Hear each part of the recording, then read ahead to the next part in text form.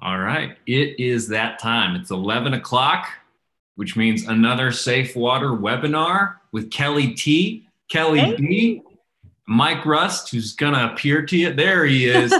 Good morning. hey, What's happening, guys? how are you? How are you? Doing good. Doing good. Well, thank you everybody for joining us. Um, excited to see we've got about 200 people with us today. Great. Um, Recognize some of them. Uh, there's- yeah, some of our, There's some some of friends our out there. friends. Yeah. So um, today, uh, first of all, we're going to talk about uh, how to respond to COVID 19. Obviously, created a unique situation inside of dentistry.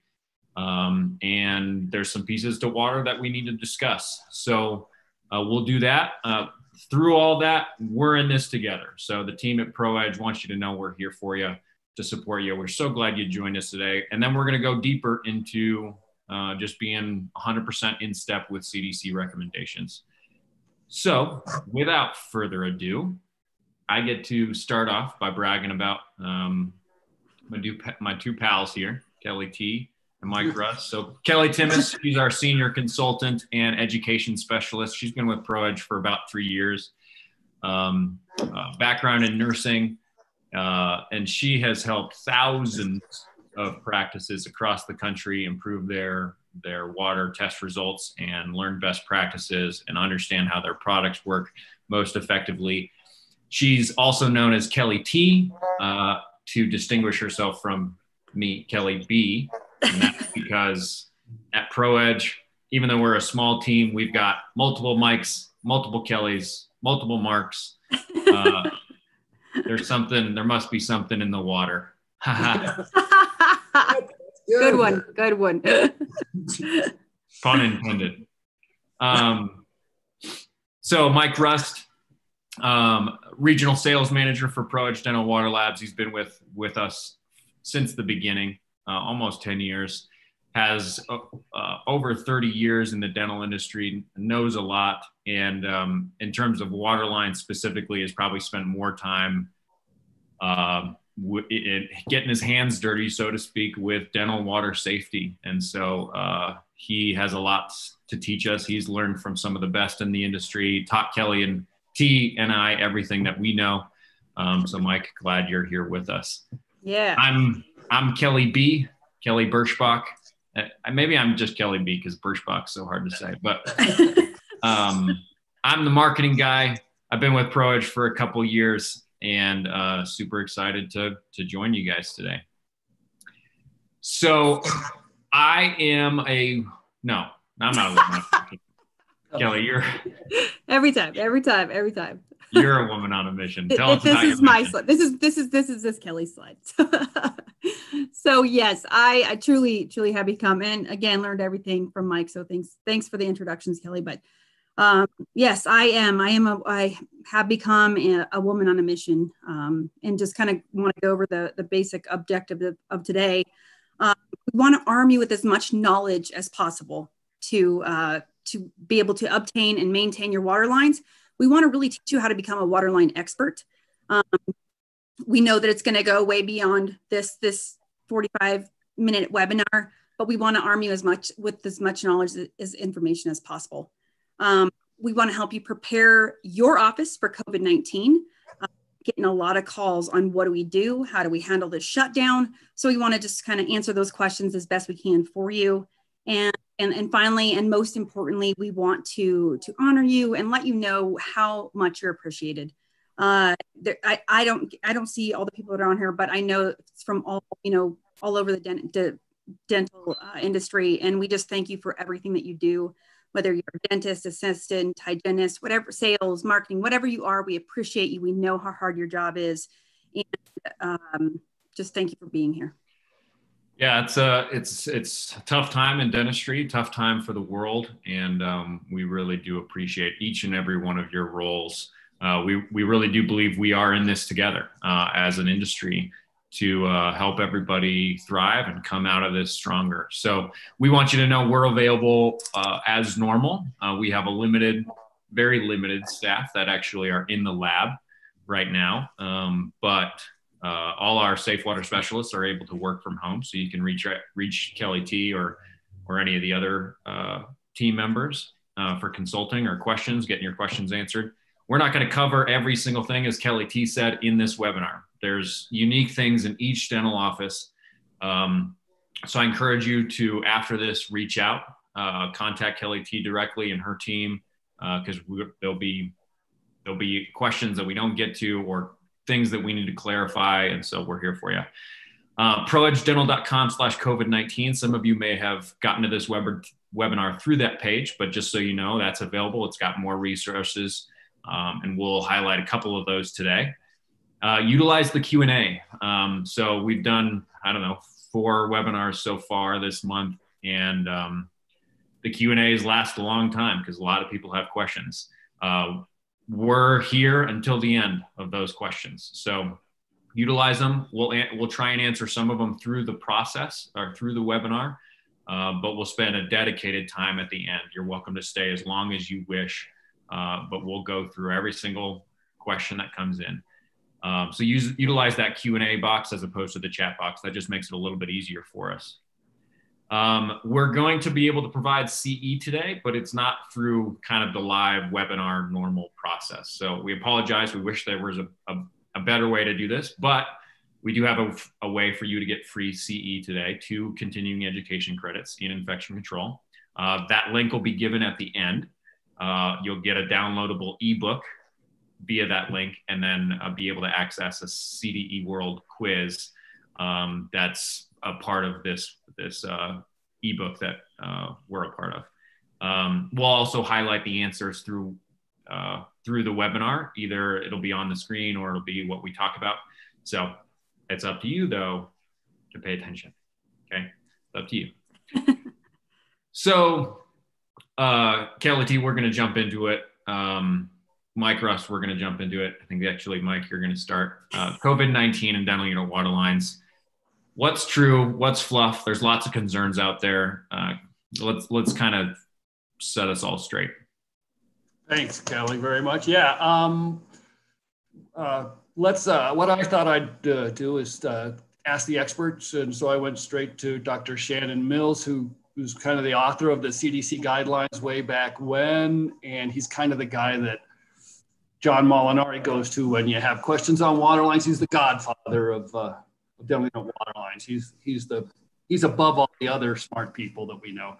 And uh, we, I just asked him a couple of questions. Uh, can my tablet, can my straw, or my cartridge kill the coronavirus? And um, I'm going to paraphrase him because he's, he's, but the answer is we don't know. It hasn't been tested, and we, and I think the way he said it is we don't really need to, we don't really need to know because the nature of the coronavirus. Uh, can my shock product kill the coronavirus? it's not known. Some of the products that, some of the types of products that are used to, uh, uh, to shock unit water lines uh, also are components in surface disinfectants that can kill coronavirus on surfaces. But remember, uh, dental water lines are a different, uh, you know, it's different than surface disinfection. Unit water lines is, uh, you know, it's, it's water. So that's the question. Can COVID populate unit water lines. And Dr. Mills essentially said it's very unlikely. And the reason he said that is because we he what he what and again I'm paraphrasing. I don't want to put words into a smart guy's mouth, but we uh, he says we don't need to worry about uh, COVID in unit water lines. COVID's an airborne pathogen. It's not waterborne. It's a virus which doesn't replicate well in water. COVID's mode of transmission, as we know, is through droplets expelled from a host. And yes, there's going to be some phobia and maybe some rightful uh, fear, some rational fear about aerosols coming out of this. As we all go back to work, uh, our patients are going to be paying attention to aerosols, maybe a little more so than they, certainly more so than they ever did, and certainly in the short term when we get right back to work. So they're going to be looking at that, at those aerosols uh, and they're going to be thinking about them. So, but there is a positive uh, message. You know, Kelly and Kelly and I and all of us at ProEdge, uh, we think there's a very positive marketing message to coming out, coming out of this. That if you guys are here, by the way, if you're here, we commend you for being here and being doing this professional development during this downtime. but uh, you're smart to be paying attention to infection control. When we get back in the office and go back to work, we want to be making all of our infection control procedures front and center. We want to be showing off. We want to be bragging a little bit about all the stuff we do. Yeah, these instruments are sterile. Yeah, we test our autoclave every week. Yeah, our water is safe. There's a positive marketing reason to shock, test, and treat, and to go and to learn this protocol that we're going to talk about today. Um, your patients will have increased awareness, and uh, we think it's a great marketing opportunity, and it's a great way for you guys to show you know, you're, you're, that you're prepared. So there is a problem though with that COVID is presenting for dental unit water lines. Kelly T, what's that problem? Yeah, so so so I kind of answered all the questions that that are coming in, the calls that are coming in, and the concerns about the COVID actually being in uh, dental water lines or in the, the water bottles itself. And it's not so much that that we're worried about. The problem is um, biofilm, right? So water lines themselves, they are the perfect place for bacteria to grow uh, it, it, when the world is normal. So even in the busiest offices, the water in those little tiny water lines sits stagnant most of the time. COVID, uh, we have an extended period of time where we're not using our office or we're not using certain operatories. So water is getting even more stagnant. The stagnation creates more of a problem for the biofilm, the bi biofilm development. Uh, and then that biofilm, that is the problem in dental unit water lines. That's where pathogenic bacteria will grow. That's what's what can cause, um, you know, dangerous things to our patients, right? So Mycobacterium abscessus, uh, Pseudomonas, Legionella, that's what we're worried about. Not so much the, the COVID-19, again, so much is unknown about that, but the problem is the stagnation, creating the biofilm, which is already a problem, but now with extended period of non-use, it's, it's even more of a problem. So that's, that's what, what the problem is. Um, so, so we have a, a specific protocol uh, to help you um, during the shutdown and then also to reopen. Got it. Well, let's let's dive into that. What is that protocol, Kelly?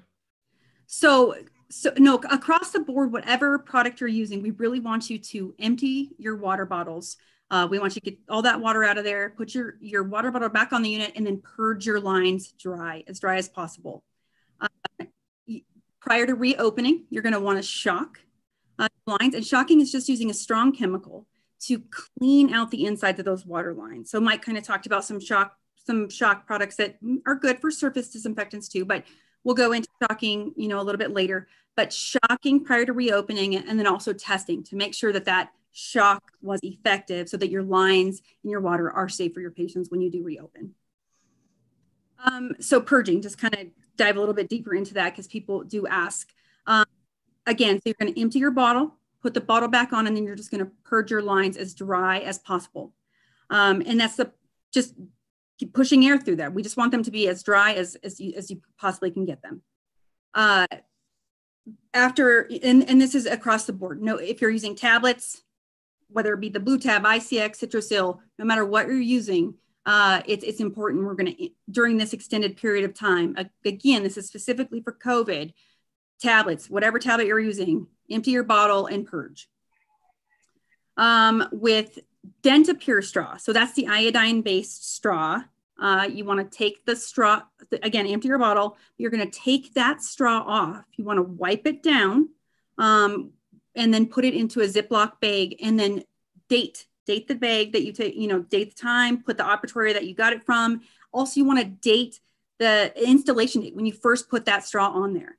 And you want to store those, store those, those straws in somewhere away from the light. So not next to a window, um, maybe in a closet or just somewhere that's not going to be in, in, direct sunlight. And again, uh, prior to um, opening up, you want to shock those lines prior to putting your straw back on, shock your lines and then test. Um, and we'll go into to how to shock with the, the straws in a little bit too. But uh, with Sterisil straw, so that's the silver-based low-level antimicrobial straw, very popular straw, little bit different protocol. Uh, same thing though, we want to empty the bottle, empty the water out, and you're going to purge your lines dry. Um, but you're going to put that bottle, you're just going to leave the straw in place. You're going to put your bottle, the bottle back onto the, the unit, and then you're just going to leave it there. Uh, and then again, before you start seeing patients again, patients again, before routine, you want to make sure you shock and test to make sure that that you the shocking was effective. Um, so say you're you say you have most some of your operatory shut down, so you've got all those purged and, and whatnot, but you have one operatory open to see emergencies. Uh, the thing is, if you're not using maybe one of those lines, it, it's not going to make a difference to purge that line. So if you have that operatory open, don't purge your lines. Just just flush like you normally would. Keep using your straw. Keep using your tablet. Whatever you're using as a low level antimicrobial. Uh, but we really really um, suggest recommend flushing more often. So you want to do your normal two to three minute flush in the morning. Flush definitely flush in between patients, but your patients may be spread out a little bit further. So flush as often as you can throughout the day. Um, just to kind of keep that antimicrobial flowing. And even if you're not using a line, so say you're not using that handpiece or you're not using a Cavitron, flush it. Make sure you're keeping it flushed so that, that the lines don't sit stagnant. Um, and then we, oh, dummy, the dummy straws, sorry about that. So then prior to uh, starting back up, shocking. So this is what I was talking about using that strong chemical that's going that's not ingestible. So the the tablets and the straws, those are low level antimicrobial that we can use in our patients. Shocking is using that strong chemical to clean the insides of your lines out. Uh, we recommend using a product made by Crosstex called Liquid Ultra. It's the pink stuff. It used to be called Sterilex. Same product. Uh, your supply company may have it under Sterilex uh, or a diluted bleach solution. Um, if you are using a one of the straws that I mentioned, so uh, the DentaPure straw, uh, straw, the Hu-Friedy, any straw, you want to make sure that you do not shock through those straws. We have what we call a dummy straw, and we're giving them out complimentary. So just let me know if you need one. They're just an empty take-up tube that allows you to shock your lines. And just reach out to us, and, and we'll make sure that you get one if you need them. Yeah, so I've got one here. Um, you just call us, we'll send it to you complimentary. Uh, real simple. Basically, you're going to take your straw off and then you're going to replace it with this. And so it's just a simple uptake tube um, that uh, you can now use to grab that shock solution, send it through your lines because you do not want to send shock through these. Um, through these. Now, if you have a Sterisil straw, you can use Citrasil shock. Uh, it's just not a product that we would recommend in most cases. It's just, uh, we feel like Liquid Ultra uh, is just a stronger product, diluted bleach, stronger product, tend to be more effective. Um, but comes with instructions, super simple. Uh, call us, we'll, we'll send it to you. Um, um, oh, sorry, Kelly. Real quick, just wanted to point out, I, I, didn't say, so, you know, even when we purge those lines, I get this question a lot. Um, you know, why do we have to shock if, if our lines are dry? And that's a great question. So purging, there's never a way to get them 100% dry. So it's in moist environments, bacteria can still grow. So that's why we suggest shocking. It's really, really important. Um, water, you know, in there is not going to be sitting as stagnant, but the, the environment is still moist, and so bacteria can grow. So that's why shocking is very, very important. Uh, and then testing prior to return to, to routine care. Um, really, really important. You want to make sure that your lines are safe, that your water is safe, and that, that you're meeting those CDC guidelines of uh, 500 CFUs or less. Now, um, we had just a quick question about purging. Mike, how do you purge? What does purge mean? Well, so there are most dental uh, units may have a may have a purge or a they call a flush toggle switch on them, and uh, you you can use that. Um, but what that does is sends only water through the lines. But but, but to purge, by and large, by the way, you can check with the manufacturer's instructions for use for several shock products will tell you how to do it, uh, like Monarch Mint-A-Kleen, and I think Liquid Ultra even tells you how to drain the lines if you want to. Um, but um, the way it works is you can take the bottle off, dump all the water out of it, put the bottle, put an empty bottle back on, and then either flush toggle, and if that doesn't, and that could work and should work, or if you don't have one of those, just hit the air water syringe until it runs dry and spits a little bit of aerosol until it there's nothing but air coming out of the water line. And then with the uh, just hit the rheostat or the or the foot the foot pedal on your high speed handpiece lines, and uh, and drain the water from your high speed handpiece lines. And we we recommend that you try you, you check your low speed lines as well. Mm. Good and point. to verify that sometimes, most of the time when they were installed, if you told the installer that this is a slow speed, we're never going to use water in it, then they may have capped it off. But more often than not, the water's just turned down or off, and there may be water in those lines. And if so, it's pretty stagnant. You'll want to shock that line and treat it like a high-speed handpiece line. Uh, and then even and then when you go back to the office, you can, you know, them out and have have them uh, capped off if you ever if you're never going to put water through them. So purging, getting all the water out of the lines. So if there's any water in those lines, uh, we haven't quite purged. So uh, that's the goal. End goal is not having water inside the line so they can be dry. Now, Kelly T, what about if you're not using a tablet or a straw? What do you do then if you got one of these other kind of treatment solutions? So yeah, so, so some people may be hooked up just directly to the city, or they may have a uh, an, an inline municipal cartridge like the Sterisil cartridge or the Dentapure cartridge. Uh, if you don't have a water bottle system, um, there's limited options in what you can do. So if if you have the cartridge and you don't have a water bottle, or if you have the centralized systems and you don't have water bottle, we re- recommend that you retrofit at this time. Um, getting a water bottle uh, on your unit um, is it's about two hundred dollars a chair. Mike, is that what you're? you're... Yep, that's right. Yep. So it, it's a great time to be able to do that, and that will allow you to be able to shock your lines when needed. Um, and this is, a great time to take to, to take opportunity or to take advantage of that. Um, with, with, the inline municipal cartridges, there's if you don't have a bottle, you, you can't shock. Um, but regardless, you need to you need to test prior to seeing patients. With the centralized systems, we, you know, prior to, to opening back up, we recommend that you change the filters, uh, that you have them sanitize. And uh, I, I, believe you have to have a maintenance technician come in to have them sanitized, but it's, it's, it's possible to do and, and, then, and then test. Uh, but having those bottles on your units will make it so much easier to shock. And uh, we are just strong believers and advocates for water bottles on your units. Yeah, it's never fun to say, "Hey, we, we think you should retrofit." Um, but if you know both with both of these solutions, generally we don't see long-term success. And so, without long-term success, as soon as a test fails, there's nothing you can do. And so, if you don't have water bottle systems, so that's why we love the water bottle systems. It's why we recommend them. Um, if you're getting good results with these two solutions, great. Um, um, but if not, consider retrofitting. Now, Kelly, uh, this is an important consideration in this time because of so much so much of the focus is on emergency care. What what do we need to do right. now?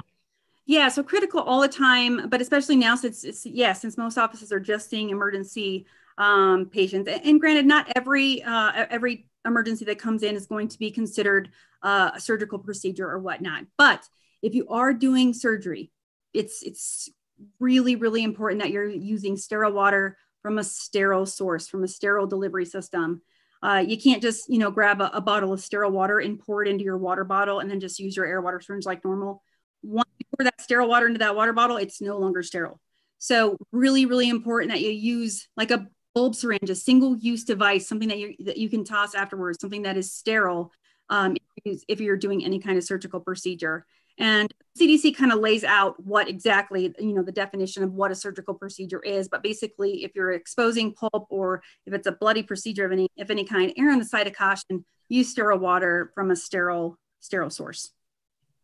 Reason one of the reasons why we bring this up in February. I don't know if you guys saw, but um, multiple news outlets, obviously big big news outlets, um, reported on a New Jersey dentist that was suspended after 15 patients got endocarditis um, and one of them, one of those patients ended up uh, passing away. And so uh, one of the the complaints again against him was that he was not using sterile water for uh, surgeries and sterile delivery systems.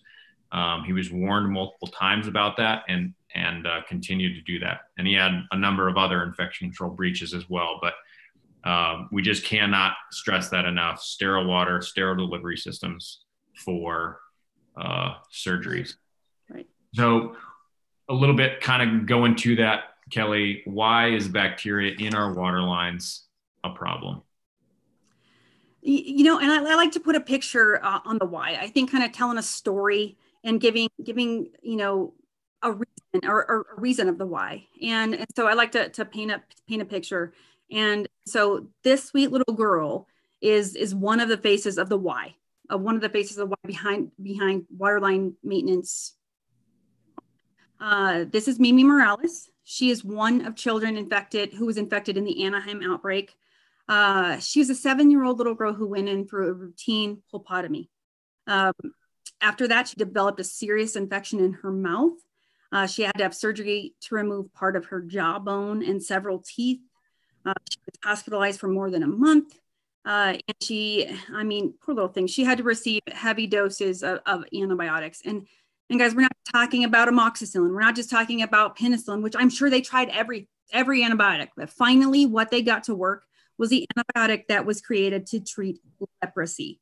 So a heavy duty antibiotic that comes with side effects on its own for this this sweet little girl um, and, and many many others. So this is this is the why. She is the why and so many other little faces like hers are the why. Now mike we were involved in the aftermath of anaheim. The orange county department of health reached out to us asking if we could test this practices water. And so we kind of were able to follow you know what what happened after mimi came in. And take us through what the timeline looked like yeah i'd say we were pretty intimately involved in, uh, in what happened in anaheim until you know at the very beginning when as soon as they found there was an infection, they did reach out to us. We spoke to the people from the Orange County Department of Health. Um, Kelly, I love the way you tell that story. Mimi Morales is a good picture of, uh, or a good face for it. She was the one, the first of uh, one of the first kids to show up at Children's Hospital of Orange County, and it was a miracle that the doctor that was on call that weekend was a pediatric infectious disease expert. And she said it was the worst case she'd seen and like you said, she tried. They tried all these different antibiotics, and none of them worked. Um, but a, but another miracle. This would be a great episode of CSI or NCIS. One of those. It, it could be a really kind of cool show because the story is so dramatic. You know, a month later, the same doctor's on call on another weekend, and a second kid shows up with similar symptoms, and the doctor starts doing a forensic history. Uh, ask them, you know, did you travel outside the country? Did you go someplace where the water wasn't bad? Did you go someplace? Did you go to the dentist? And here's the scary thing about this bacteria that grows in dentulated water lines is that the incubation period is so long. It could be over 400 days. So imagine it's your daughter or granddaughter that uh, develops a big infection in her mouth. You take her to the ER and they say, Did you go to the dentist? You're going to say she hasn't been to the dentist in a year. I'm not saying that happened, but it could happen because the incubation period, the average incubation period of Mycobacterium abscessus is 90 days. That's three months.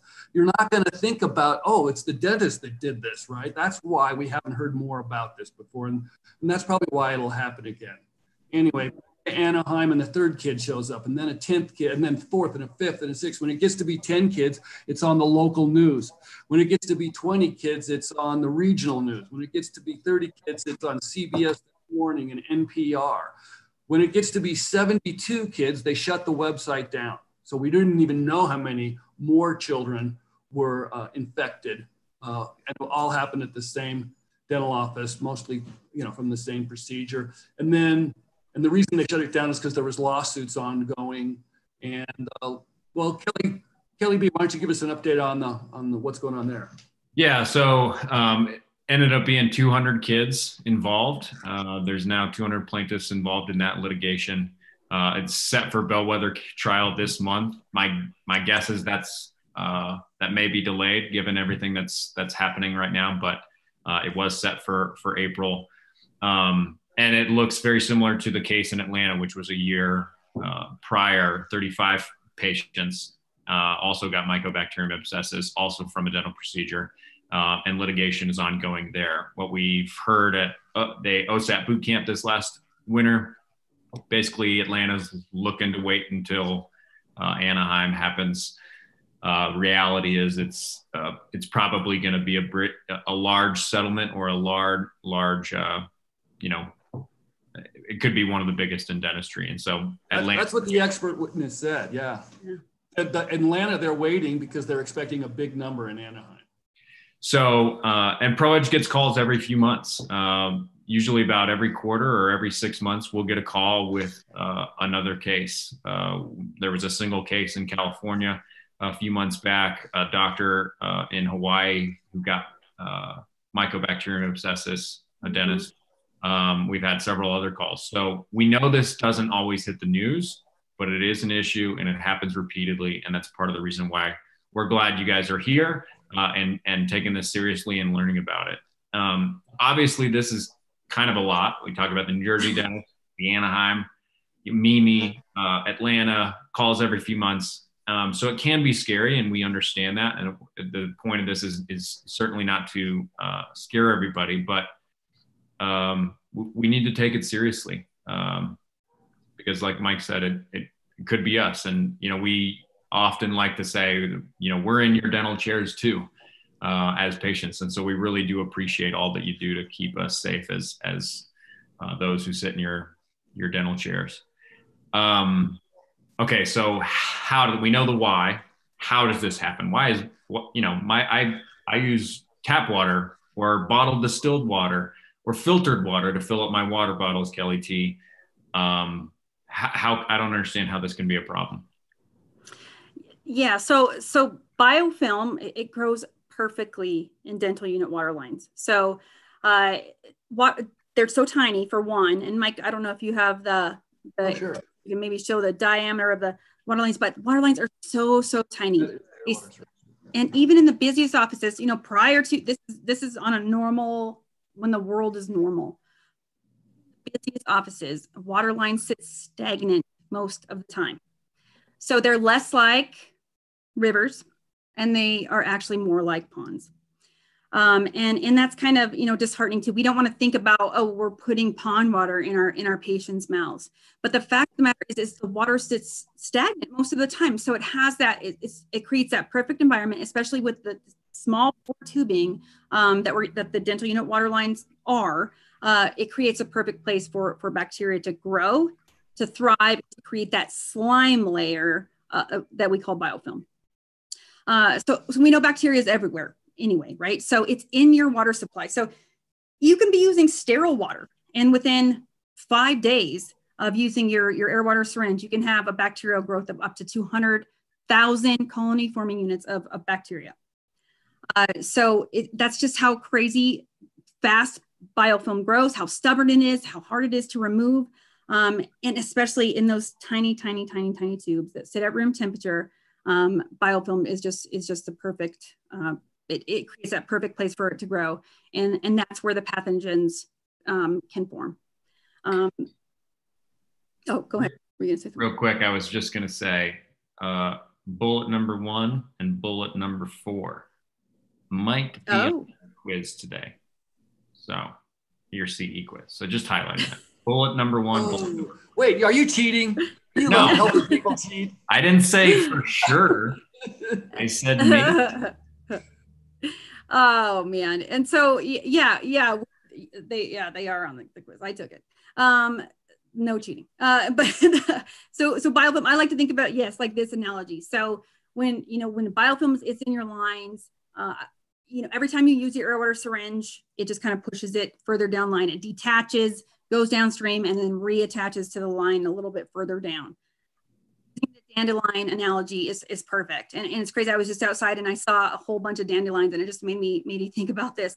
Um, so every time that you use your air water syringe, it is, it's like blowing on a dandelion. You're just kind of spreading those seeds everywhere or just spreading that biofilm, you know, how it, how it breaks off and it breaks off at random intervals, um, at random, in random sizes, uh, at random times, but it just pushes it downstream little by little. And uh, so, yeah, that's the perfect analogy for that. So we know uh, there's potential for danger. We know biofilm is going to grow really well in our water lines. What do we need to do? We're going to get to what we call the proven protocol, the three steps safe water. Um, but the CDC lays this out for us. And so the CDC guidelines since 2000, 2003 have had the same recommendations to dental practices of how to manage uh, dental unit water line contamination. So this isn't new. It's just gotten attention because um, you know some of these cases have have become outbreaks and big. Uh, at least 33 state dental boards require CDC compliance to some level, and so uh, if you want to know about your site, uh, state, reach out to us. Um, it's also on the map, the light blue ones. Um, and so, dedicated CDC compliance, following the CDC recommendations, is going to protect your patients. Uh, it's they they they lay it out great and we'll go into it and then documentation of cdc compliance is what is going to protect your practice Um, so you want to make sure that you have documented results, uh, standard operating procedures showing that you are uh, doing what you need to do and following those CDC recommendations. When a you know, we had we're in Colorado, the three of us, and and OSHA went into a few offices for complaints about something else, and they brought in the infection prevention checklist by the CDC, the 18 page infection prevention checklist, and they said, "Show me your documentation of all these things." And so it's it's uh, important that we document. So we like to divide the CDC guidelines up into three pillars: uh, water for surgery, water for just regular dental unit uh, routine care, and then documentation verification. So Kelly T talked about this already, sterile water and sterile delivery systems for surgery. So any surgeries use sterile water and only way to keep it sterile is with a sterile delivery system. So putting sterile water in a bottle, delivering it through those lines that are so good at building up bacteria is no longer sterile. The second uh, pillar and the second key things with that pillar is dental unit water quality needs to meet the EPA standard 500 colony forming units per milliliter or less. Um, they recommend a number of ways you can do that independent water reservoirs, that's the water bottle systems we were talking about earlier, uh, flushing. Kelly mentioned that when, uh, for uh, during COVID, if you're using some of your lines, chemical treatment, so that's a low level antimicrobial. We'll go into all this, shock treatment but whatever uh, treatment solution you use, it needs to meet that 500 CFU standard. And then the last thing is again that documentation, having, having standard operating procedures written down so uh, your staff know what they should be doing, how often they should be doing it, and then documentation by having tests proving that you've met that EPA standard. So, Mike, uh, wh- why what this was data published by Molinari and Nancy Dewhurst. It's in the ebook you can download later today. But uh, walk us through what uh, what the real world data says in terms of treatments. Right. So everybody, uh, there's there's pro- there's products out there to treat your unit water lines. There's tablets and straws, and they're all most of them are you know they have to be EPA approved, and you have to to, to do that you have to prove to the government the product is safe and effective with, and effective when used as directed. But um, in the real world, John Molinari and Nancy Dewhurst collected data anonymously from over 22,000 water tests. So this is a pretty good, this is a pretty solid data group, right? Uh, good information. But what they found was that in the real world, those products fail 31% of the time. Treated water fails 31% of the time. When people identified what, you know, they identified that they were using a tablet or they were using a straw or they were shocking their systems. Uh, turns out that uh, if they identified that they were using a tablet and shocking with a separate product, they got the they got great results, almost 90%, which is really good if you compared to everyone else. Um, but all the products can work. Uh, they all can and do fail. So you have to use them properly. It's not enough to just, you know, it's not enough. No offense, Kelly B, but marketing departments will say just buy and you'll live happily ever after. I'm but offended. I'm offended that I'm in that. Group. I'm in sales, so I'm guilty of saying buy our product and uh, and and and use it. But then we say use it properly, right? And if you use it properly, then you'll know um, you you can get way better results. So 31% failures uh, of treated water lines. Look, I just invested a ton of money into tablets or straws or centralized system. Kelly T, how is this possible? How could an how could one of these treatment products fail me that often? So yeah, so it's it's, it's basically the science of, of low level antimicrobials versus biofilm. So the low level antimicrobials, like you're talking about, like the tablets, straws, the the liquids, uh, they are designed to be continuously present in our water bottles. They're safe to ingest, so they're not going to be the strongest the strongest treatment. Can't be something that's going to hurt our patients, right? So it's just low level antimicrobial, so it can handle low levels of bacteria. Uh, biofilm, bacteria, is as powerful. So um, this is this is a great little slide here. The little the guys, you can see the one bacteria and then the low level antimicrobial. They can handle a little bit at a time. They can handle you know low levels of bacteria, but that bacteria is constantly being reinforced through the air. Like I said, bacteria is everywhere, and in those in that small bore tubing it grows very quickly. And so it quickly can overtake that low level antimicrobial, whether it's a tablet, straw, whatever you're using, shocking becomes necessary. And shocking is using a strong chemical that's not ingestible to clean out those lines so then that the, the low level antimicrobial can do its job and maintain the cleanliness of the lines. Um, so the data that brought, that brought us, we, we created this or what we, we like to call the proven protocol or the three steps to safe water. Step one is shocking.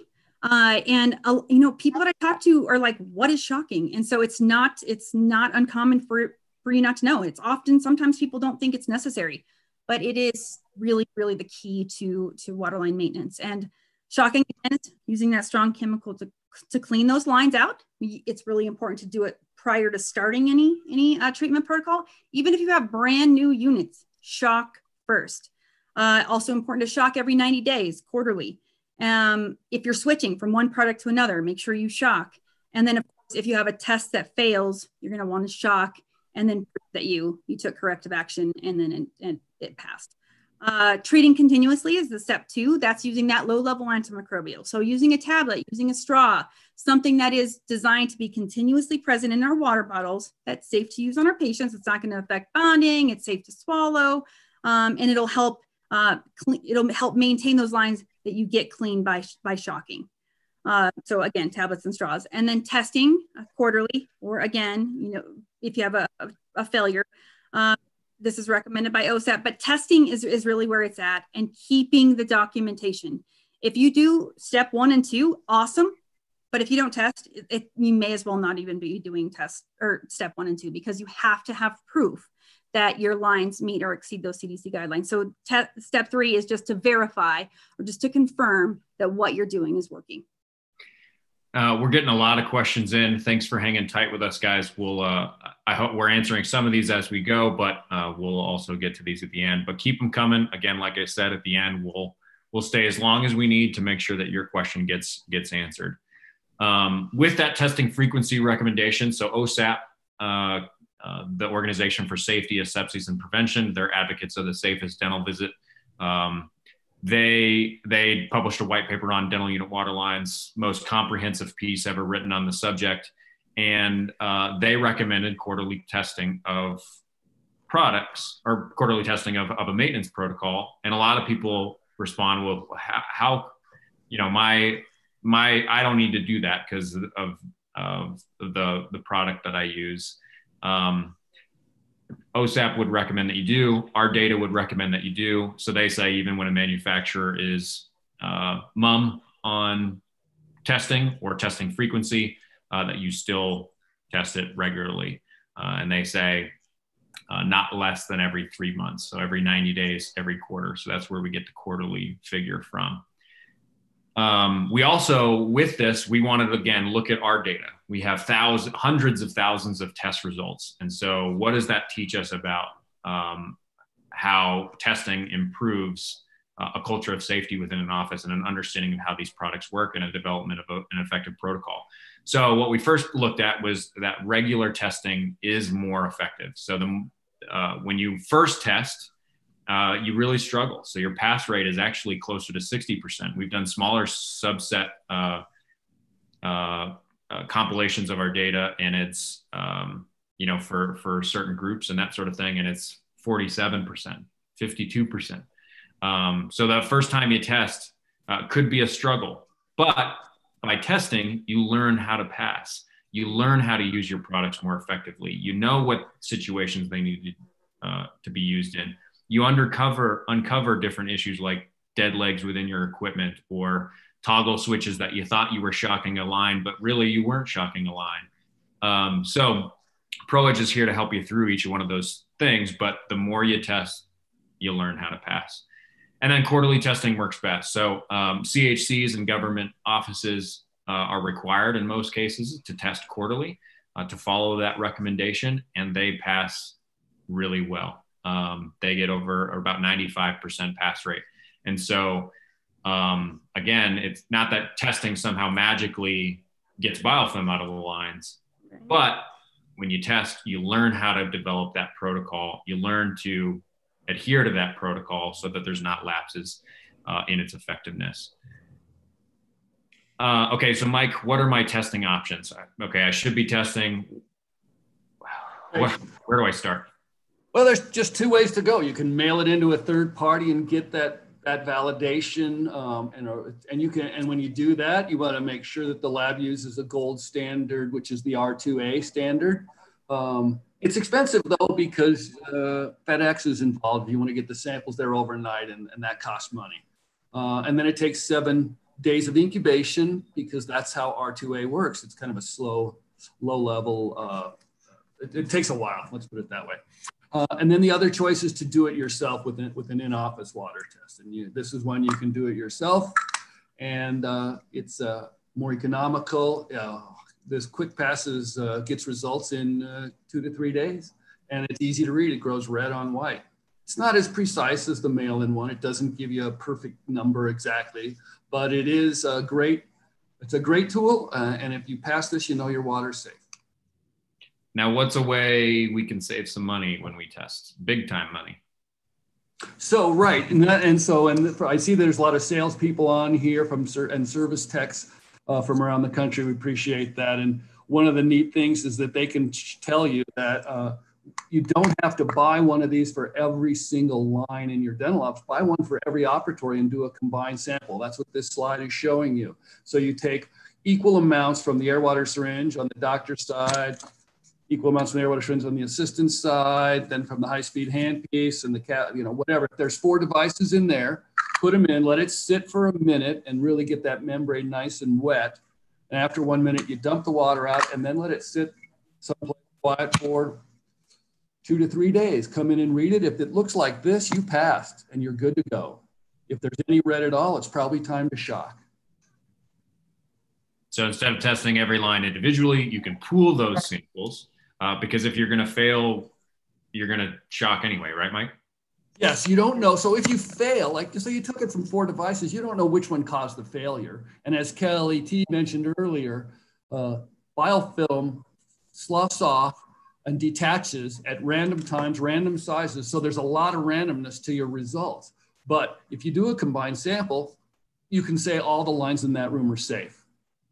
And we proved this by looking at the data. And this was a really good idea from Kelly B. Uh, and basically, the data shows that when someone fails, the average failure is 32,000 CFUs per milliliter. So, and the average pass is almost zero. 24 CFU per milliliter is the average pass. So what that means is most people are either treating their water lines and it's working or it's not. Only 3% of the time is it between zero and 200 CFUs, which is, you know, uh, you're good to go. So uh, we're, we're to, we're coming towards the end here. We want to wrap up uh, real quick. ProEdge laboratory testing, third party verification. We use all gold standard testing methods. That includes R2A, which we talked about earlier and, and is recommended by OSAP. Um, but along with that, we do duplicate samples, uh, vortexing samples, germicidal neutralization. Long story short, just makes it more reliable um, and is recommended by OSAP. We also do blind testing, so nobody who tests uh, knows where the product, where the sample came from. They know they don't know what products are being used. Um, so it's it's all above board there. Uh, overnight shipping is included in our kits, and then you can always do consultations. So we're always available, even if you don't test with us. We're always available. We'll answer questions, help you use their those products. And, and and they're easy to order from your dental supply company. They're available from absolutely. And also, um, uh, just to point out, I'm sorry, go real quick. I just th- during this time, uh, for for testing, um, our ours come with the FedEx label, and that's really, really if, if you're going to test soon, definitely buy you want to go with the one with the FedEx label because FedEx is charging like a surcharge. So let us pay for that. Get the, you know, ours it comes with that FedEx shipping label already included. You want to make sure you're you're, you know, let us pay for the shipping on that. Thanks for that, Kelly. And we we've we've worked out a deal with FedEx to get it uh, as low as possible, so you guys don't have to worry about that. Uh, this is what your results look like uh, when you get the mail in. You want all those greens right there in the middle. That feels lovely. Um, uh, not only can you do a happy dance, but you can call Mike Rust and he'll do a happy dance, record it, and share it to your Facebook. That's right. yeah. Um, and then we've got the quick pass. So the quick pass is the blue uh, water mail, or excuse me, the blue in office. There you go, Mike. Uh, test kit. Uh, advanced media makes the bacteria grow red. Uh, 48 to 72 hour results, so really quick. Uh, you can make take action much faster. Germicidal neutralization is included within that, so it's just like the laboratory test, and that it it aligns with OSAP's recommendations. And then because you're not paying for shipping and because you're not paying for labor, you can do it all yourself, 100% confidential within your office. It's a lot more cost effective. So we want to make that's an option, and then uh, and we'll we'll hook you up today. So uh, this just shows the red bacteria and how nice that is to read. Again, Quick Pass is the blue one. There's a red one out there. Uh, really cool uh, opportunity, um, but we've made several improvements to make sure that it's uh, more effective for you, include that with that germicidal neutralization, half the incubation time, and the red bacteria on white background. Again, documentation. You want to document uh, as much as you can to protect your practice. So this is a water testing log that comes with the Quick Pass, and you can download it off our website. Um, but just makes it easy for you to document. You keep that in your log. Uh, we recommend you to keep your your water test records for five years. Uh, again, wrapping up, we're going a little long. I apologize, everybody. We're going to get to the Q and A. Um, just want to make sure you guys know we've got video training resources. Our blog has got lots of resources. Uh, if you want to learn how to shock, proedgedental.com slash shock. Uh, to find our YouTube videos, you can go onto YouTube and just uh, type in ProEdge Dental uh, and you will get to our videos. Um, research based and hopefully not boring. Uh, basically, it makes me look like an idiot. Uh, My facial oh, expression. It does. Not good. no, they're very. That's not a good quick pass. They are. They're cute and fun and short and, and sweet. They are sweet because I eat a donut in one of them. And Kelly eats a donut in one of them. That's right. I think that's the shock protocol. Yeah. Um, complimentary consultations. Kelly T is always available to you in your practice. We got a team of people that will answer the phone call and, and help you learn best practices, improve your test results. Uh, if there's any like, hey, I need a resource for this, we'll make sure you get it, answer your questions. And then one thing I want to highlight is that we help you use your treatment protocol right. more effectively. Right. right. So we're not trying to get you on BluTab. Um, we're trying to help you use the product that you got more effectively. So educating you on the instructions for use, educating how it works most effectively with different source waters, all sorts of stuff to make sure that you can use it more effectively. Thank you. You've been a great crowd. Um, um, really, thank you guys for joining. Uh, we really appreciate your time. Now, time for some gift giving. Want to make sure you get that CE and want to make sure you get that special gift we have for you. Yeah, you get toilet paper. You. Yeah. right, we don't have any toilet paper for you. Oh, oh, come on. Does anyone? Good night. Hopefully, we have something better for you. So, first, CE. Again, uh, we highlighted some of the important answers for you that are maybe the toughest on the questions, but go to proedgedental.com slash COVID-19.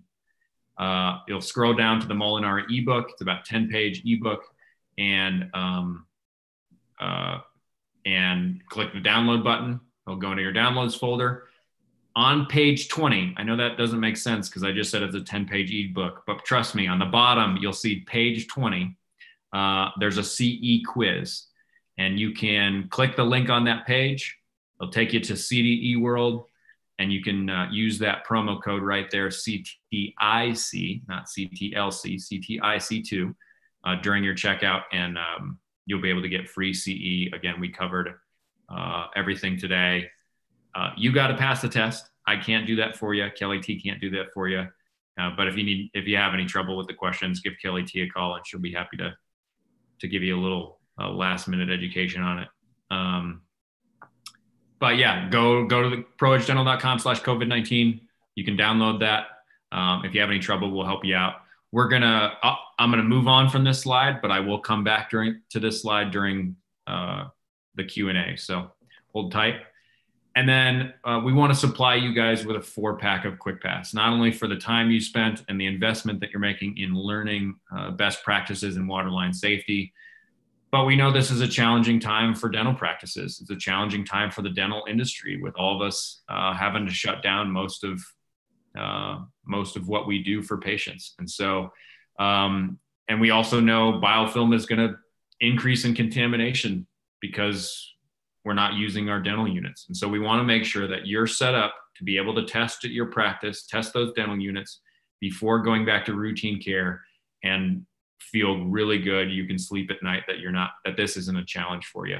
Because uh, we know that there's lots of financial uh, challenges through this. So if you uh, registered for this webinar, you can go to proedgedental.com slash live webinar, enter the password in this together, all one word, all lowercase, and submit the form. Uh, and we will send those out uh, uh, as soon as we can and get you that get you that so you're you're all set to go when you come back. Uh, it is limited one per practice. We appreciate if you would share the webinar opportunity uh, and not so much the the link with the the password. This is a you know this isn't a uh, this is an expensive offer for us, but we want to make sure that you are golden. So we appreciate if you if you share the webinar um, and not just the the link. Um, and then last, uh, when you click out of today, you're going to get a quick survey. We love your feedback. Um, if you need anything, go to proedgedental.com slash COVID-19 for more resources or uh, email Kelly or I, and we'll take care of you. You can, you can email Mike as well. He's at Mike R at proedgedental.com, Mike yep. R at proedgedental.com. Um, but let's get to Q&A. Uh, we've got a number of great questions. Um, thank you guys for your patience. Again, you're welcome to stay as long as you need. We'll we'll go through all of them, uh, but here we go. Okay, Jeanette asks a great question. Um, uh, amalgam separators and using bleach to shock the water lines. Um, bleach should not be used in the amalgam uh, lines. In your evac- in your evacuation lines, right? Sorry, evacuation lines. Uh, can you guys explain that and and help us out understand what we need to do and what the difference is and uh, go ahead, Mike. Well, the amalgam separator is always just on the evacuation lines, but the sink goes right to, does not go through the amalgam separator. So you can put bleach and these other, what they call oxidizers, shock products down the sink. So if your water syringe doesn't quite reach to a sink, use a patient cup or a bucket to collect the bleach or the or the or the other uh, shock product and then dump that down the sink. Don't use your evacuation lines. That's a good point. We want to protect the fish downstream too. Uh, I'm going to go back to the CE uh, page just so you guys have that information in case you missed it. Uh, Milton asks if ProEdge is going to be able to handle water tests once this crisis is over. Um, and the answer, Milton, is absolutely. We can take them now. We can take them later. We're, we're set up for you, and we're all good to go. Um, another question. I have uh, going into the office maybe once per week, how long should I flush then? Still two to three minutes, or should I purge and refill when I see a patient? Um, so right now it looks like she's going in uh, once a week to see a patient. Um, should she purge and then when a patient comes in? No, she sounds like she's using that as an open operatory. She's leaving. She's using yeah week. So I would that would be your regular protocol: shock on the first day, treat with your tablet or straw, test on the last day of the quarter. Definitely flush. You know when you get there for sure. Yeah, um, flush and flush first thing in between patients per the CDC guidelines, right? And, and it's going to be a little bit different if you're if you're using the Dentapure straw. Uh, you're going to want, of course, empty that the water bottle, but keep the water in the lines. If you're using a tablet, something it, it could be a little bit different uh, if you want to get in touch with me uh, later, email me, call me. We can go over your your exact protocol, and I can I can help you better.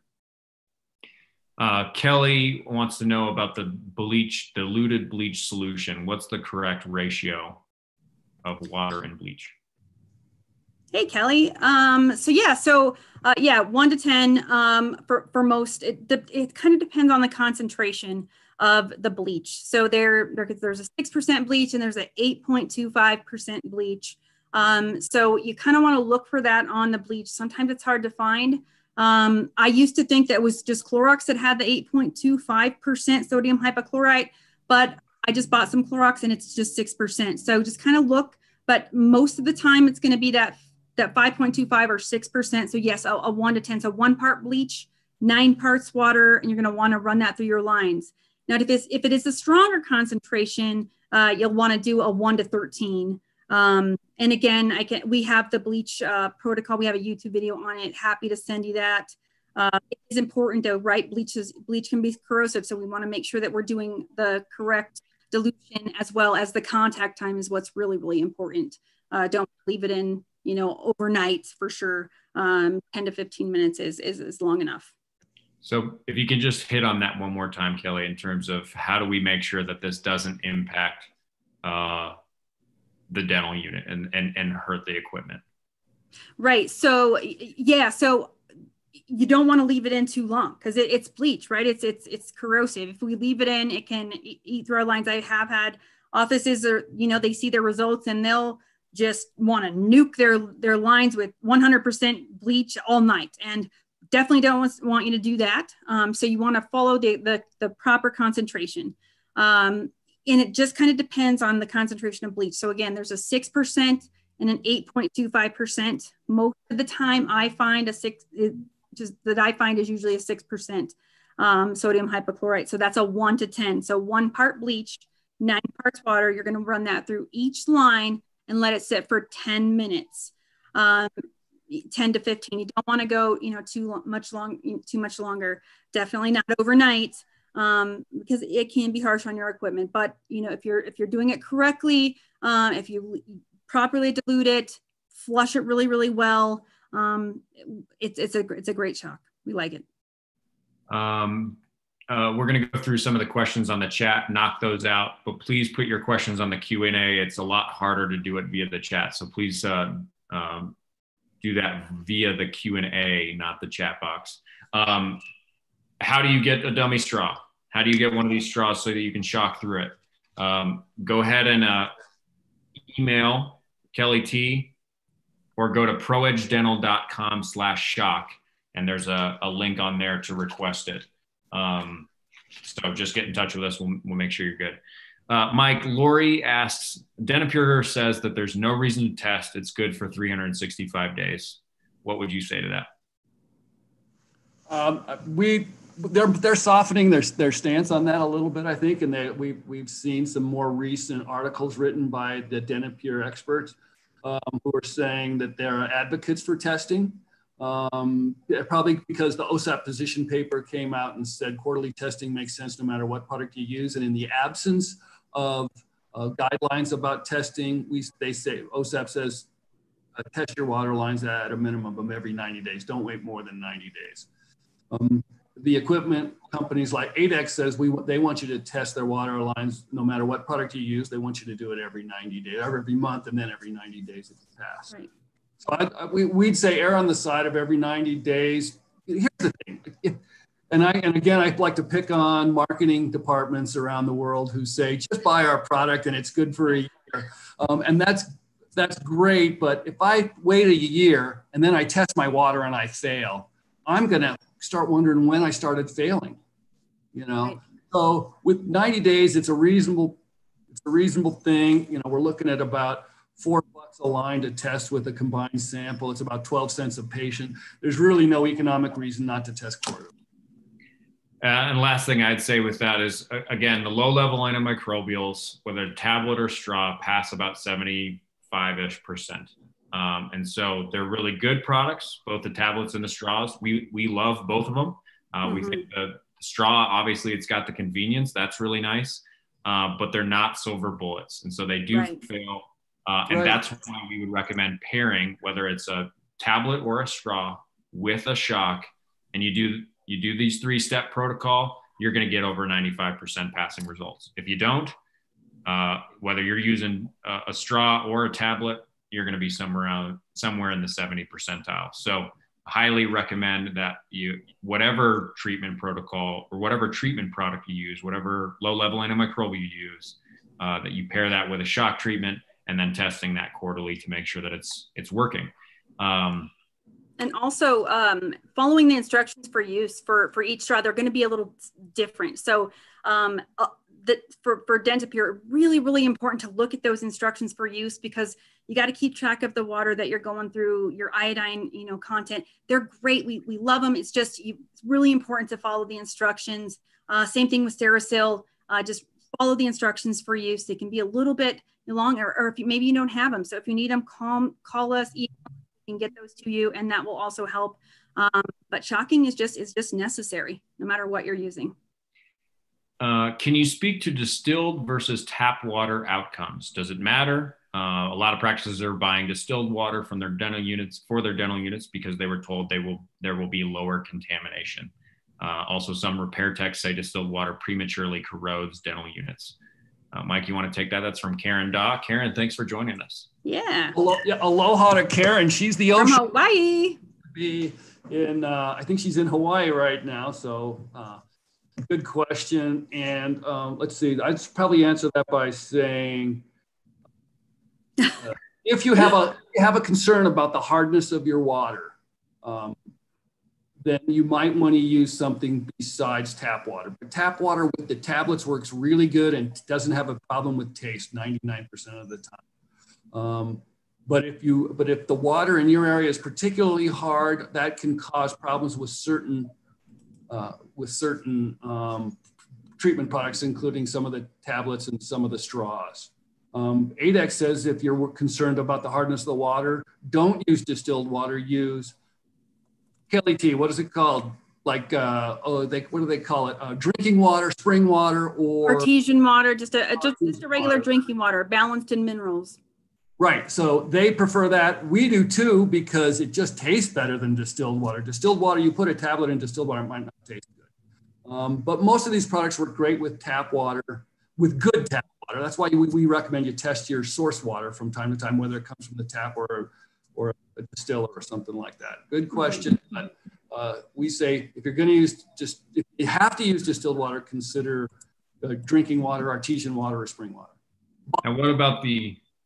Sorry, Mike. Go ahead. Yeah, that's all. Um, what about the dis- the in-office distillers, the reverse osmosis units? Some of some of those solutions that We, Uh, we found that, that Yeah. they're part of this problem more Problem. often than they're part of the solution. So we really recommend that you use test your source water and use the best water that's convenient for your office. If You want to use a Uh, distiller, make sure it's providing good water. Sorry, I didn't mean to, to interrupt there. Yeah, you know, it, this was kind of baffling to me when I, you know, first kind of jumping on, especially, you know, from my nursing background coming here. I, I never, I never really thought about that.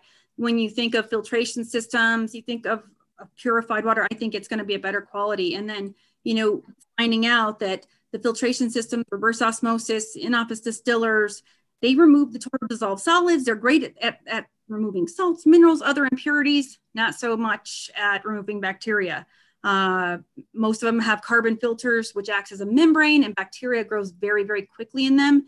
And so, yes, like Mike said, oftentimes that's the source of the problem. And so, when we're just you know going through consultations, uh, we ask, "What's your source water?" If it's an in-office filtration system of any kind, uh, we suggest testing it, and um, so we make sure it's a good source. All right. So Maggie, yes, you can reuse these uh, on different chairs. So after you after you shock using this, take it off, go to the next one, use it on the next one. Mhm. Um, Evody asked how to clean Cavitron lines. Right. Great So, question. Yeah, it is. They're they're different. They're harder. They fail 50% more often because the lines are longer and they move, the water moves much slower. So you the, the procedure is the same as with the air water syringe or the high-speed handpiece lines.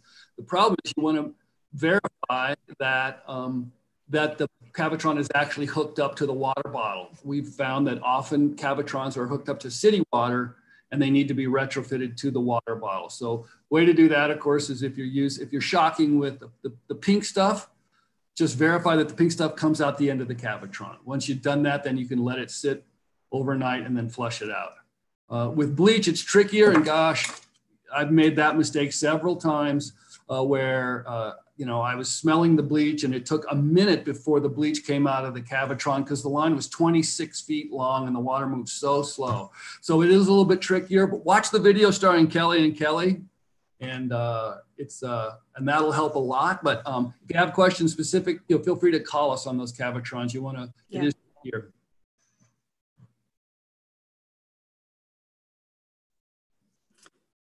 muted technology. Come on, Kelly.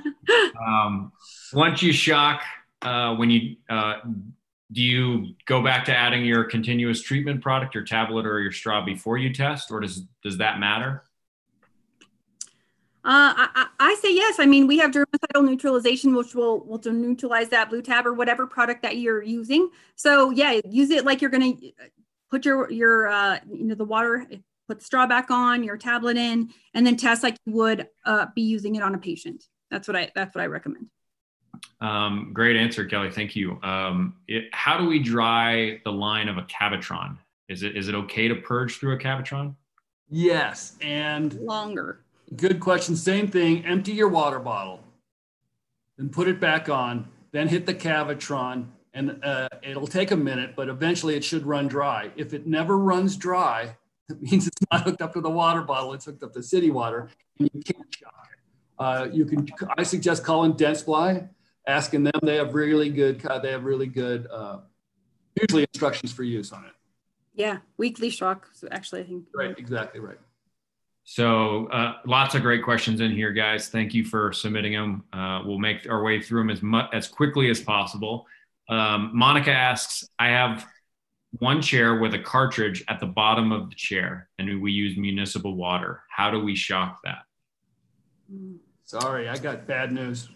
Bad retrofit. if you don't, if you don't have a, if you, the good news is if you do have a water bottle, just shock through that. You'll have clean water in 10 minutes. If you don't have a water bottle, we don't have an answer for you, right? So our answer is contact your favorite service technician and have them come out and in the next couple weeks and they can come out and retrofit for 190 bucks plus labor. And then you can have a water bottle and then you can shock but yeah if you don't there's no easy mechanism uh, to put the shock in there. All right. So um, when our during routine care this is an honest question. We during routine care we used a different shock product than crosstex liquid ultra uh, sounds like regularly as a routine protocol um, but when they're returning they're they're wanting to use the crosstex liquid ultra their question is do i need to do it the three nights or, or can i just do it one night or what, what's the recommendation there I, I would do it three. I would kind of follow the instructions for use from from what Crosstex says um, and, and if you're gone for extended period of time, do the, the initial or the initial shock of the three, the three nights. I think it's, it's important at this point. The three nights are going to, uh, in pretty much all situations, going to solve any sort of problem that you got. Um, you're, you're welcome to try it one time and then, but you want to test to make sure that that worked. Right. Um, but yeah, saving time, saving energy. You do it and just you go for it. Do it three nights in a row. You're going to pretty much solve any problem you got mm-hmm. in those water lines. Right. Uh, until we would recommend then you go back to your continue your regular shock weekly, um, or uh, use a maintenance tablet or straw, and then you can go much longer between shocks. Uh, with our water bottles, anonymous question, with our water bottles, we seem to get a black film in the bottom that will not come uh, come out, and we had to use new bottles. Um, we distill yeah. our own water in the office. Is there something we sh- else we should be doing? Oh, they're using tabs and they're distilling their own water. So um, that's pretty unusual. So that um, I would say test your source water from that just make sure it's part of the solution and, and not part of the problem. Secondly, most of that comes from precipitates in the water. And when it attaches to the silver in the tablets, that can settle to the bottom of the bottle. Um, it's almost always cosmetic. We've found it's minerals more than it, it's not really bacteria. Uh, and it can be hard to clean, but um, you can clean you can clean your bottles and uh, ADEC even recommends using bleach every three months just to shock your water bottles. You can use bleach for 10 minutes, diluted bleach for 10 minutes, uh, but also simple green works pretty good. Um, and if you're using BluTabs like you are and you're still struggling with it, give us a call. We well we can we can help. That. But that's usually a it, it's a it's a rare thing. Cleaning it really every month or two or three is enough usually.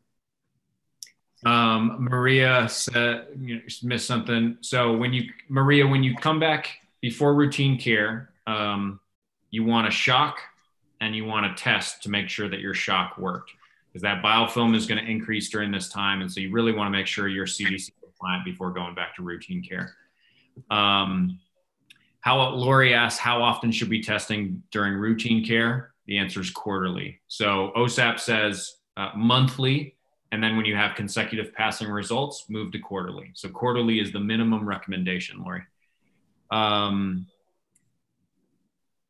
uh, uh, sorry, I don't know this name, but we have always done in-house water testing. So in-office water testing. Do you know if any company who does water line testing, because in-house testing is easy, but very sensitive and uh, depends on the operator's experience. So do you guys know a company that does laboratory testing? It goes out and does it. you got to mail it in and we're the we're the ones now. Now, just so you know, um, we've been getting a few questions that are that are coming in from Canadians. So to our good uh, north, uh, we don't know of a laboratory in Canada, but QuickPass is available from Schein, Patterson, Sinclair, K Dental, K Dental, else. Yeah. The uh, dental uh, in Canada Same, so yes laboratory test there we don't know anybody that comes out and does the testing for you for a laboratory test but uh, you can mail in uh, to our test there's another lab called agenix uh, you can also do loma linda um, university does laboratory testing again just want to make sure you use a, a test that's r2a uh, right. Or any laboratory testing there are some other tests that are sold by uh, dental labs that uh, dental water labs that don't uh, use that, um, and it's not the right test for water lines. Um, how often does the CDC recommend shocking dental unit water lines?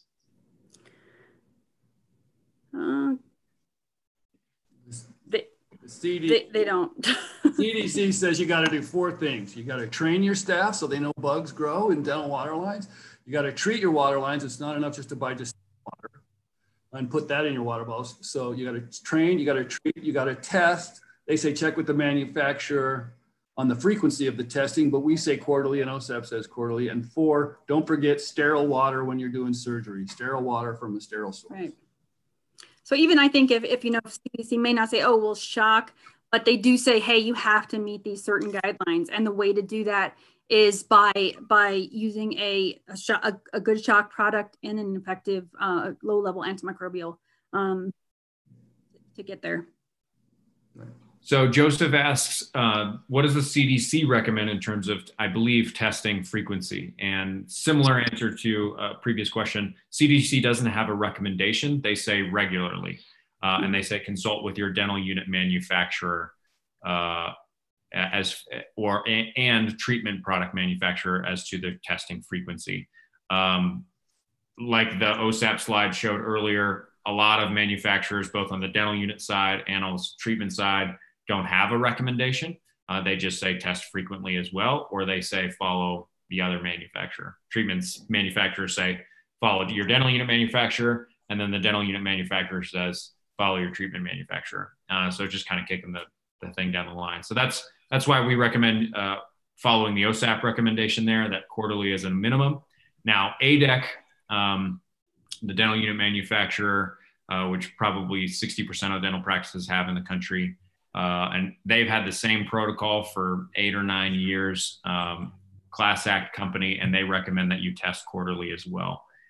Um, monthly and then quarterly, right? Monthly uh, for a couple of months and then quarterly. Correct. Uh, same frequency as OSAP. Monthly, then we have consecutive passing results. Go ahead and move to um, uh, uh, quarterly. Uh, Mike, you want to take Pamela's question? Yeah, Pamela's asking about uh, what about the non-sterile water coming out of a surgical handpiece when sectioning for an extraction? Again, that's a surgical procedure. You want to use sterile from a sterile source. Most, I mean, all surgical handpieces have an external water component. So you can use sterile water from a sterile source and attach it right to the handpiece. Don't mm-hmm. use high speed handpiece for surgical procedures and don't use non-sterile water for surgical procedures. That's our, right. That's the CDC. Uh, Kim asks if we'll make these slides available. Yes, it's going to go to YouTube and we will send you the link uh, to, uh, you'll have a recording of it tomorrow. Um, uh, Gina asked, uh, Mike, do you have quick pass tests in shock? Um, yeah. So actually, Gina, uh, it's, it's, a good question. She ordered them through Midway Dental. Um, uh, Gina, here, here's what I'm going to say. If you can reach out to me, Kelly B at proedgedental.com. We do have plenty of quick pass in stock, but Gina, reach out to me, Kelly B at, oops, Kelly B at proedgedental.com, and we'll take care of you there. Um, the, and most, most distributors have it. And oh yeah. It's pretty yeah. unusual. We, we, have over 50 distributors um, and they're all, they all should be well stocked and, and we're well stocked. Yeah. Um, great question about the Sterisil straw. The Sterisil straw includes a shock treatment. Um, my understanding is that the company's position is that you don't need to shock once the straw is installed. This is dependent on the lines being clean when the straw is installed. Is this contrary to your guidance? Um, no, I don't think. So. Right. Uh, yeah, I, I, mean, it does. It is. It's really nice. It comes with the the blue that you can you can see. It's really cool. Uh, we love that about that. Uh, the the Sterisil. Although same thing with any low level antimicrobial. Um, shocking becomes necessary. So now you can shock with the Citrosil shock through the Sterisil straw. Um, it's safe safely. So and and they recommend that. Um, so I, I would follow their guidelines. Um, sometimes the, Citrosil shock may not be strong enough, so you have to use a dummy straw. But you know, you know, follow their instructions and, and guidelines. Um, but yeah, it we love the blue shock that comes with it. It's really it's really cool. Uh, but oftentimes, uh, you know, bacteria is powerful. Biofilm is is stubborn. So shocking with with something um, more often is needed for sure. So, um, and I would, we're another question coming from Monica, which is similar. We also use the Sterisil straw and we're shocking with those Citrosil tablets. We test quarterly and even following that protocol, uh, it's struggling to pass. Um, so Monica's asking, how often do I shock? How often should I shock? And so Monica and the previous question or answer caller or caller, um, I guess this is on the radio. Um, yeah.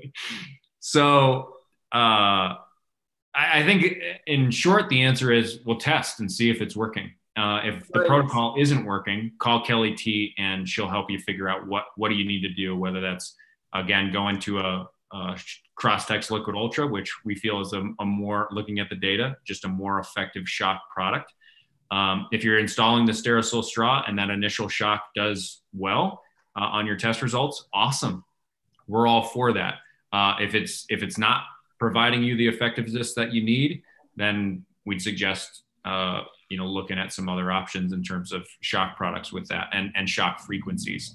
Um, again, just looking at the data, it's pretty hard for a straw to truly last a year, uh, whether whether you've got um, clean lines in the very beginning or not. And so uh, we do like a quarterly shock to to be safe.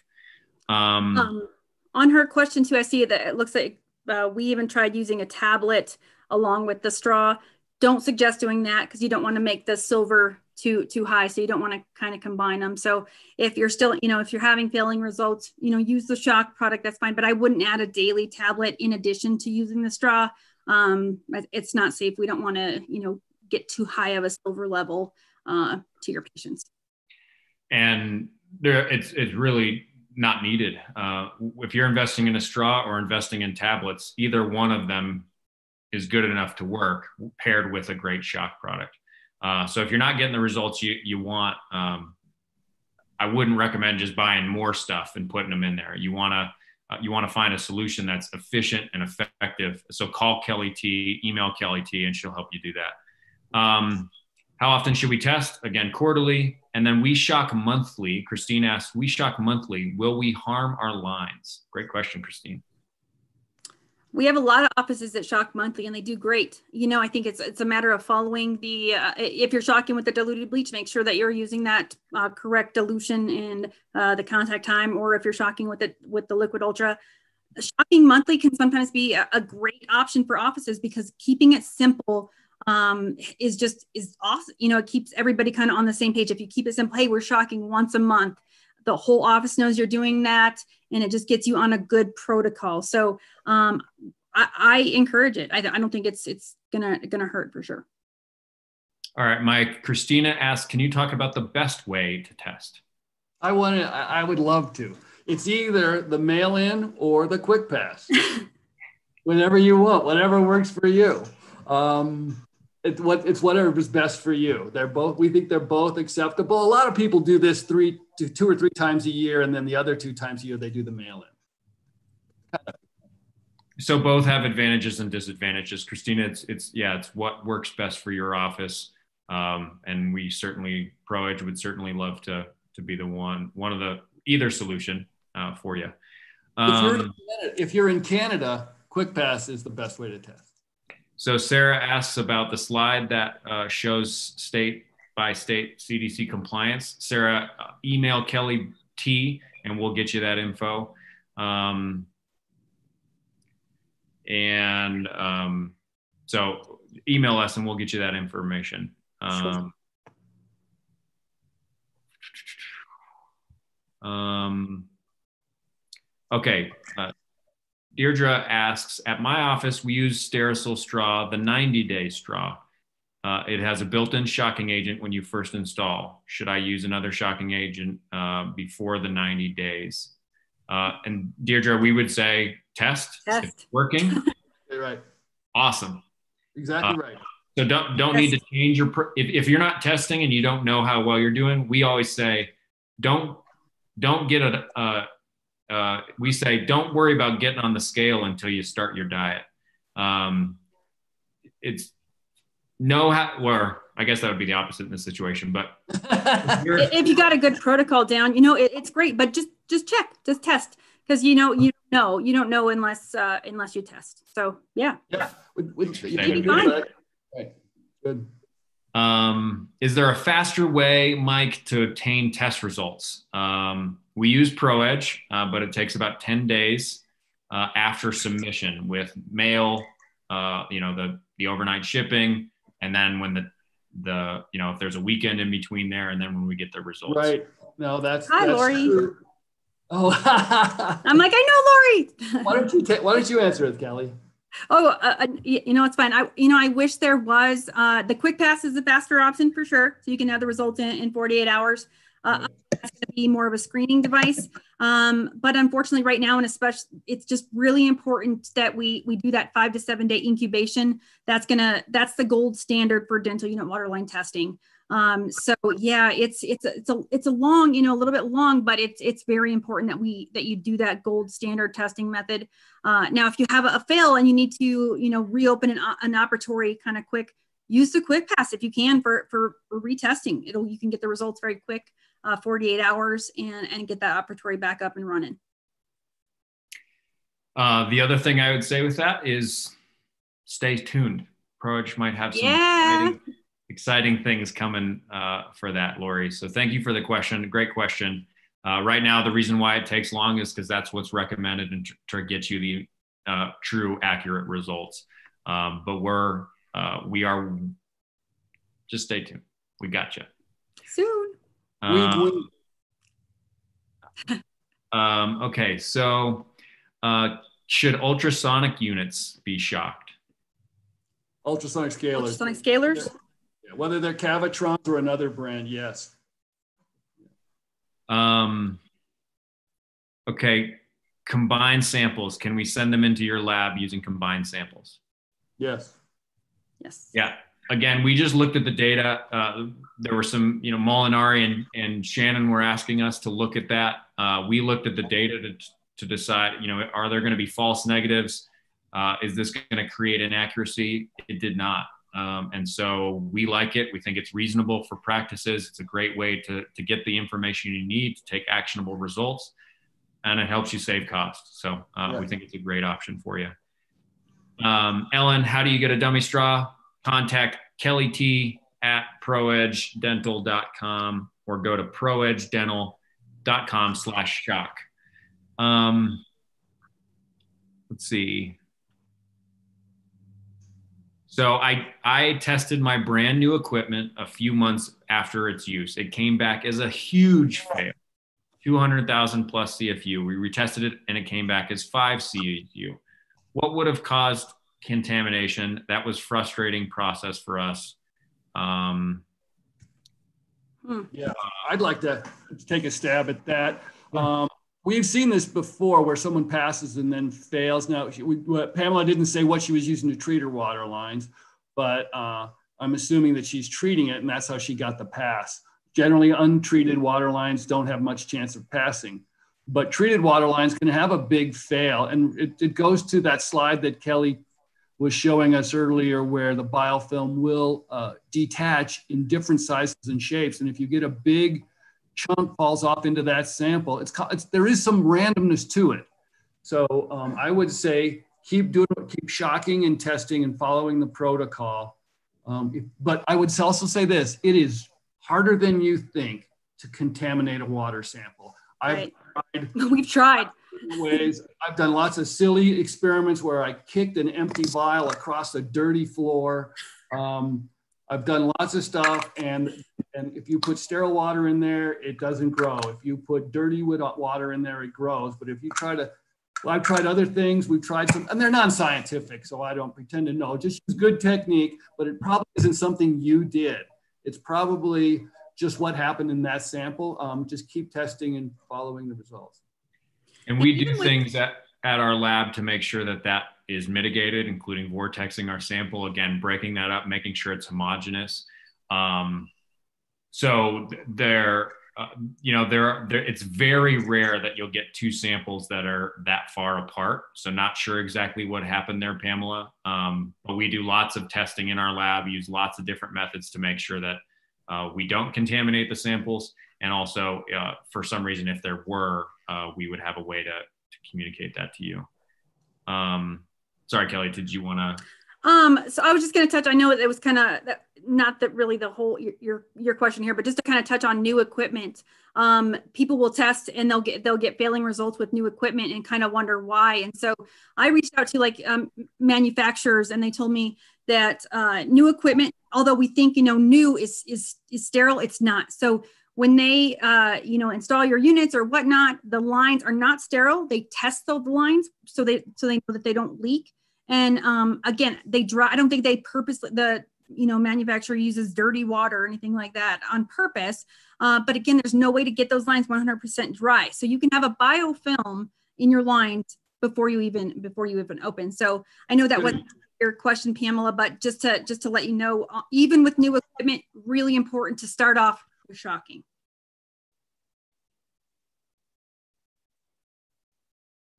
Kelly, you're muted again. Did it again. Muted myself. Uh, it's my first time.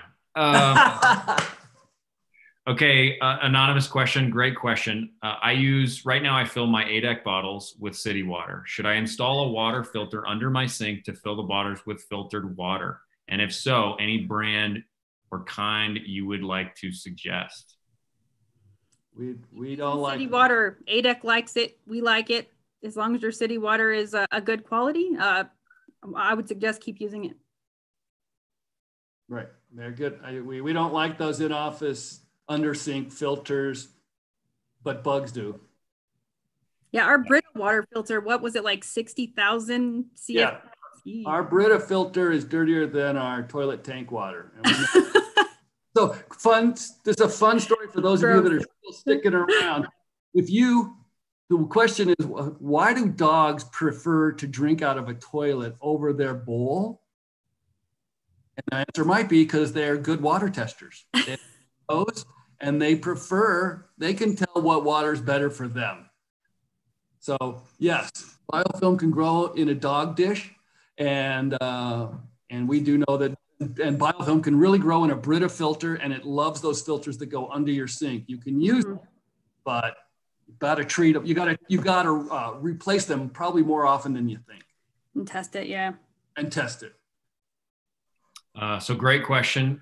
Uh, if you're pooling samples, if you're combining samples again to save cost, can you use one vial per water bottle source slash delivery unit per slash delivery unit? So uh, when do you switch a vial? Basically, I think is the question. Right. I and and actually that's sort of almost that was worded better than the way I worded it. You know, when we buy one per operatory. It's really, some operatories have two water bottles. They'll have one, you know, uh, on the regular unit, and then they'll have a 12 o'clock unit with a separate water bottle, or the, or the assistant side will have her own water bottle. So it's really one per bottle, which is one per unit. So good question. And you probably answered it by asking it properly. Um, do you recommend mail in for the first time after being shut down for COVID for a few months? So we have a report as evidence. Kim, great question. That is a great question. I, and my answer would be no, because I'm a cheap, I'm cheap. And I would say, and plus, if you do, so the two, two part answer. One, let's say you're going to open on May 1st and let's, or May 4th, right? Where some people are saying May 4th. This is all optimism, but let's see. So you want to get there the week before and, and shock your water lines and then do a quick pass test. And in two days, you'll know if it passed. If you passed, I think you're good to go. If you yeah. want to do a mail-in test, you got to get there a week early. No, you got to get there 10 days early, shock it, mail it into our lab because we need seven days plus a day of shipping, we'll, and we'll send you your results uh, that way. So I think in this case, I would go quick pass. Kelly and Keeping, yeah, keeping that log is great evidence. Another another way. Um, don't don't keep the actual quick pass. We've had people do that. You know, they'll they'll hang on to their quick pass for for weeks or whatnot. And they're like, man, these are really growing, and they will. They'll continue to grow. So after that 72 hours, toss them. But you can take a picture of your results and upload them, or just keep them. That that's also helpful. And then just keep that in addition to your log, and then you'll have the report that you need as evidence and as the documentation. And the last thing I'd say with this, Kim, is uh, having that report as evidence. This won't be the last time you test. So you're going to have, uh, you, you, know, we like if you're doing the quarterly quick pass, you also do a mail in once a year. Um, so three quick passes, one mail in. We like that uh, just so you have that third party verification at least once a year. Um, but I think in this case, you're good either way. Just make sure you got the, the passing results. Uh, great question. We get this question all the time. Should you read the quick pass at 48 hours or 72 hours? Kelly T, what do you what do you tell customers that ask this question? So both. Um, so if you're if you read them at, at 48 hours and, and you see a clear fail, um, you know, a lot of red on there, you can you can pretty much know, hey, I, I need to do something and, and shock my lines. Uh, but if you if you look at them at 48 and there's there's, there's no growth, I would I would let them keep uh, incubating and then check them again at 72 just to make sure. Um, so so so both. Yeah, check them at 48. If if it's a clear fail, you'll know. Um, and then if you're again if you're not, you know, if there's maybe just one dot or if there's nothing at, at 48 out 48 hours, let them let them incubate a, a little bit longer, check them at 72, and then you'll you'll know for sure the the correct answer. But you don't want to go over 72 because again, they'll, they'll, they can grow mold uh, and the bacteria can keep growing. So uh, want to make sure that you, you do check them at that 72 hours window. Carter uh, lives in Hawaii. Aloha, Carter. Hey. Aloha. I don't know. this is just like surfs up. oh. Sorry, Carter. I, I don't. Yes. I don't. Yeah, sorry. You do a lot We're of dorks. We're dorks. We're uh, um again. I'm dumb. Uh, okay. Uh, Carter is asking, can I do a mail-in laboratory test? Yes. If he lives in Hawaii. Absolutely. Yeah, we have lots of customers in Hawaii. Yeah, lots. And generally, that we don't have a problem getting it overnight with FedEx. No. And make sure you, you order the kit that comes with the FedEx shipping. You know, most of our right. kits, but make sure you order that and uh, it'll get, it, it usually gets to us the next day. Yeah. And then I'll just highlight that one of the coolest things about going with ProEdge with the mail-in test kit with the shipping, and Kelly talked about this, but with the shipping included, is that if you're in Hawaii, you don't it's pay expensive. more. We yeah. pay more because we already right, right, right, right. Yeah, go uh, with the shipping. You don't pay more, Carter. If you if you go with a, a test kit that doesn't have the shipping included, you got to pay for that full amount from Hawaii, uh, which just it can get really expensive. So uh, that's one of the benefits of going with ProEdge.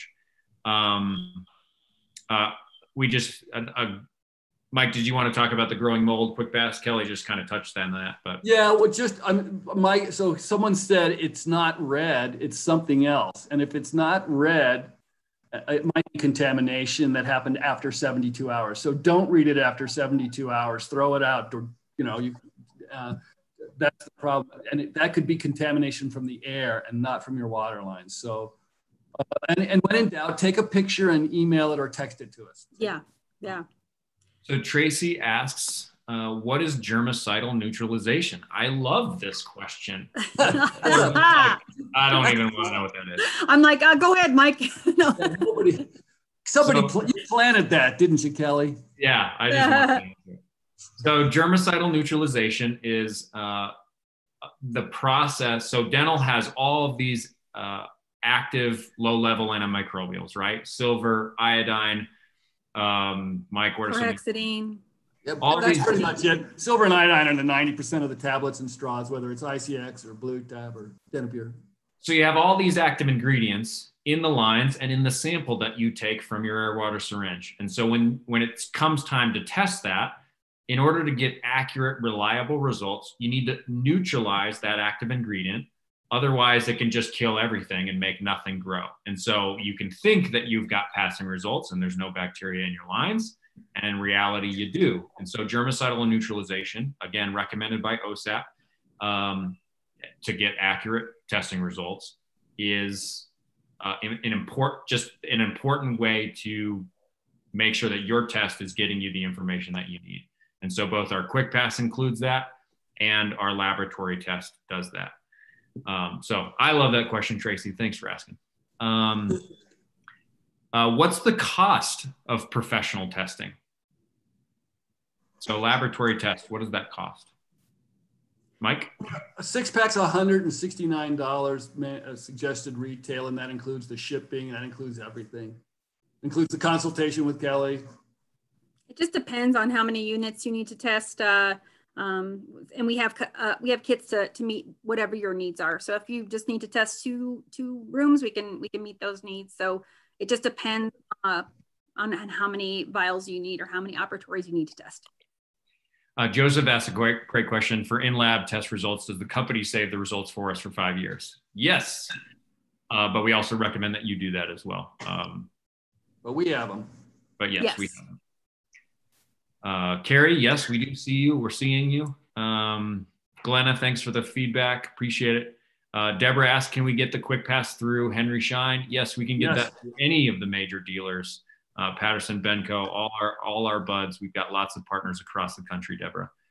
Um, um, let's see. Other good questions. Oh, what Wendy says Kelly T is the best. Yeah. Yeah. Thanks, Wendy. About, talk about planting s- some feedback. I, I told her to say that. Uh, Kelly T is the best. Um, Yes. is it okay to run the Cavitron scaler lines? My dental repair technician says do not run bleach through the Cavitron lines. Great question, Brenner. Mike? Yeah, sure. Um, and I would, uh, you know, we we do really respect those uh, service technicians and the sales reps from the dental supply companies. They've seen a lot. They know it. Um, but we also um, have seen the instructions for use from all the chair and equipment manufacturers, and so mid supply, we, you know, we- you know, uh, all, all of them have, almost all of them have authorized the use of one to 10 bleach for 10 minutes as a shock protocol. Check with your manufacturer, but yeah, we listen to your service technicians. Um, they've seen a lot, um, but but when in doubt, go right to the source.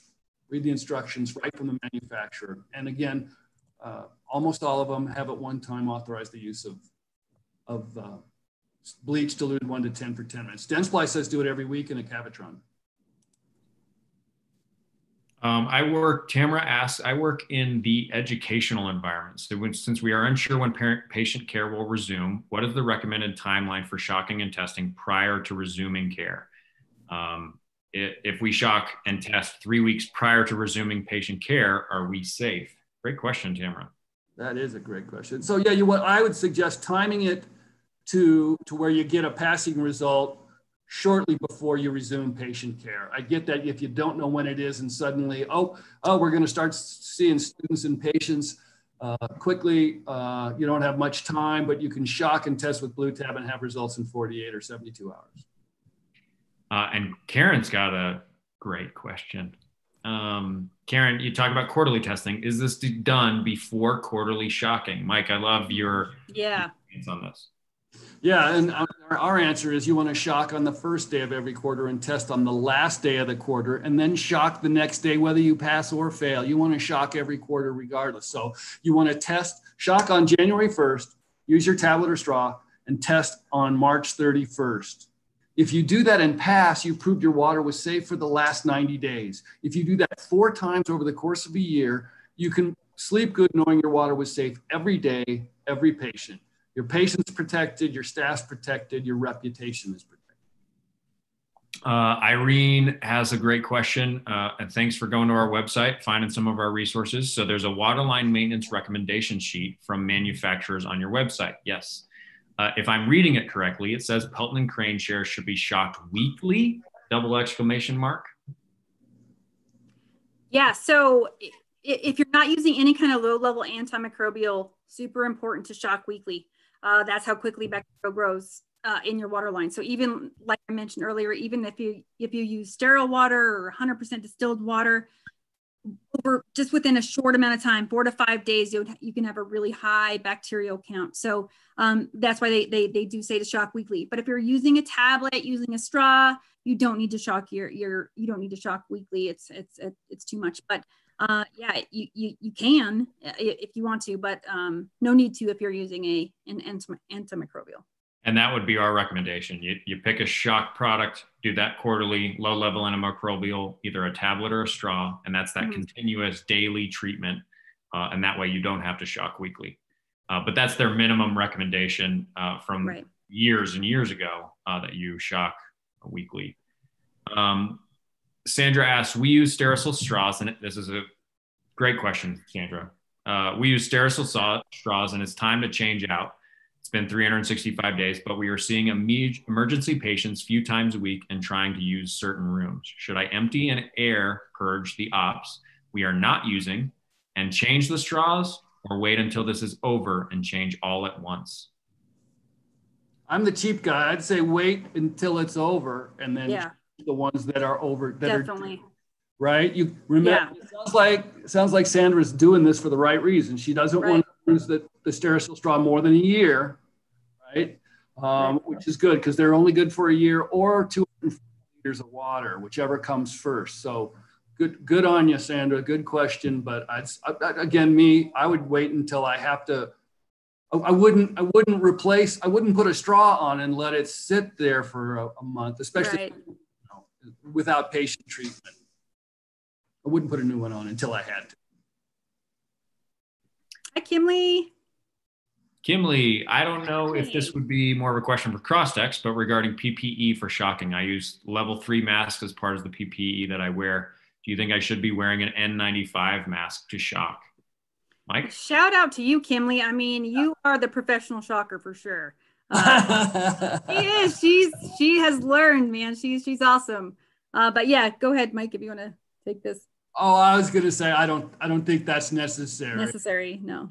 Again, you're uh, you're not you know save save the N95s for for uh, for when and who needs them. Yeah, she's awesome. She has got shocking down. Good for good for her. Yeah. Um. Kimley says she uses Liquid Ultra product to shock. Uh, how's her results going, Kelly?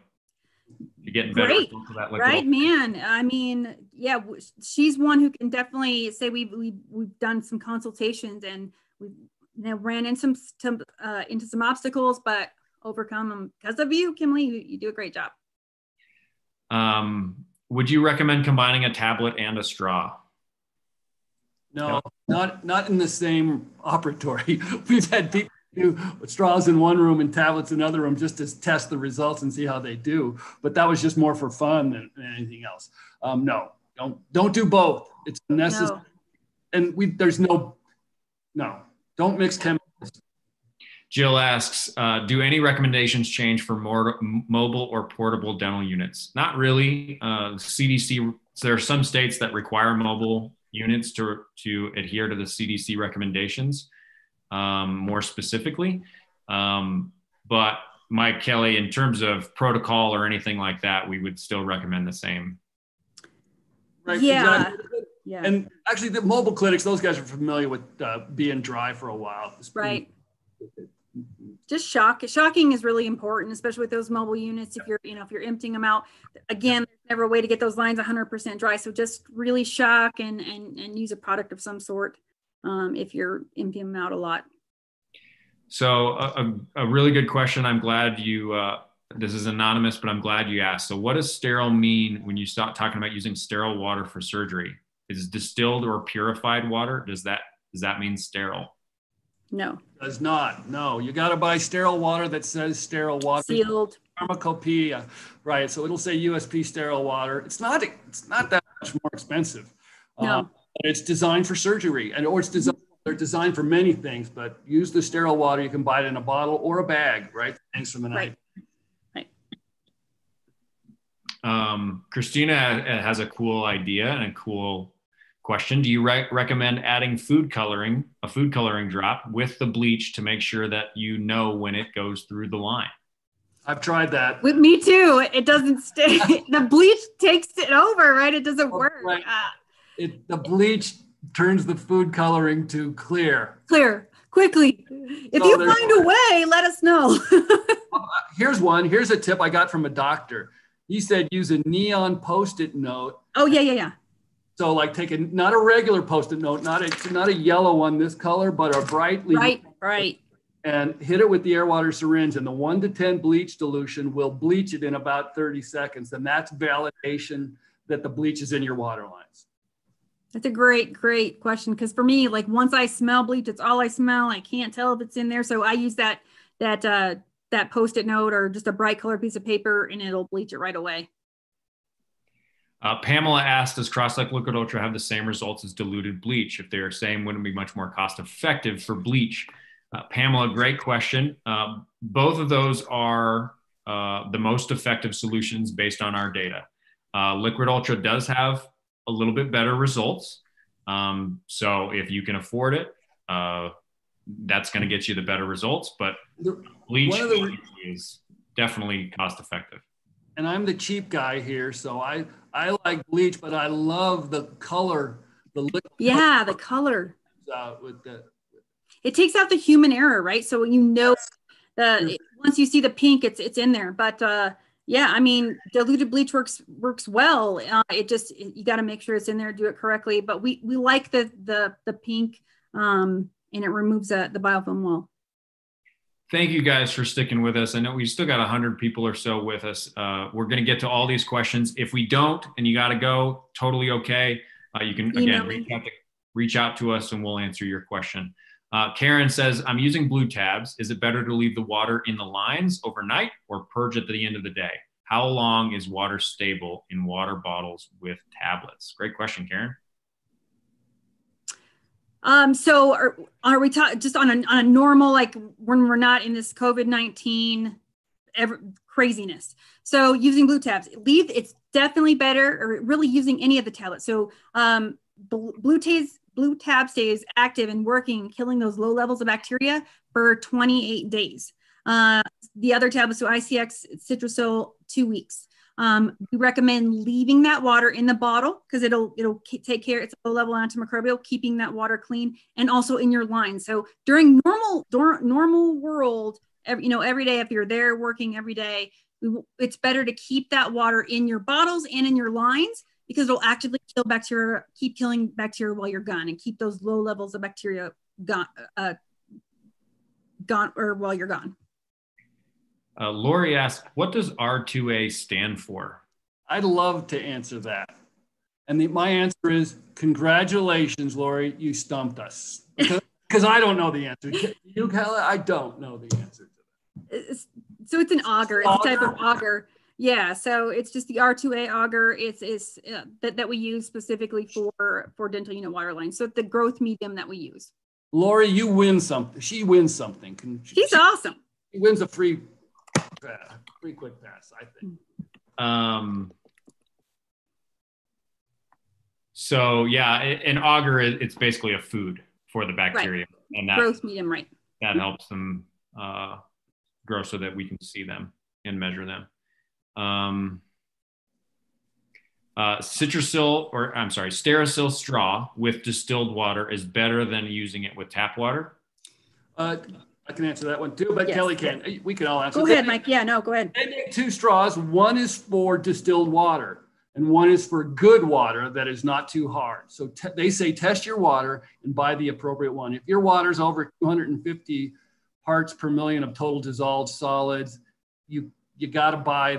There's you got to use distilled water basically, and if you do that, they get good results. They, that product works good with distilled water. I think it's important though that you're using a distilled water from a commercial source um, from a bacteria standpoint. So again, Bottle.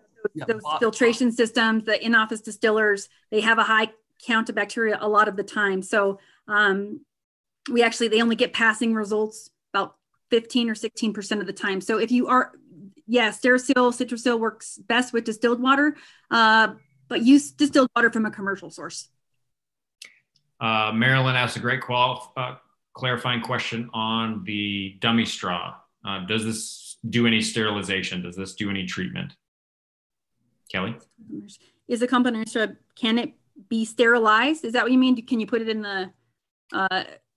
You, you don't want to put it. I mean, it's just an empty take up tube. If you, you don't want to sterilize, you know, don't put it in your autoclave. It's it's plastic or Right. So Right. you don't No. need to do that. It's just an empty take up tube that you're going to use to shock with. So you can use it uh, uh, uh, over and over again. If you need another one, call me. We'll, we'll send it you out another one.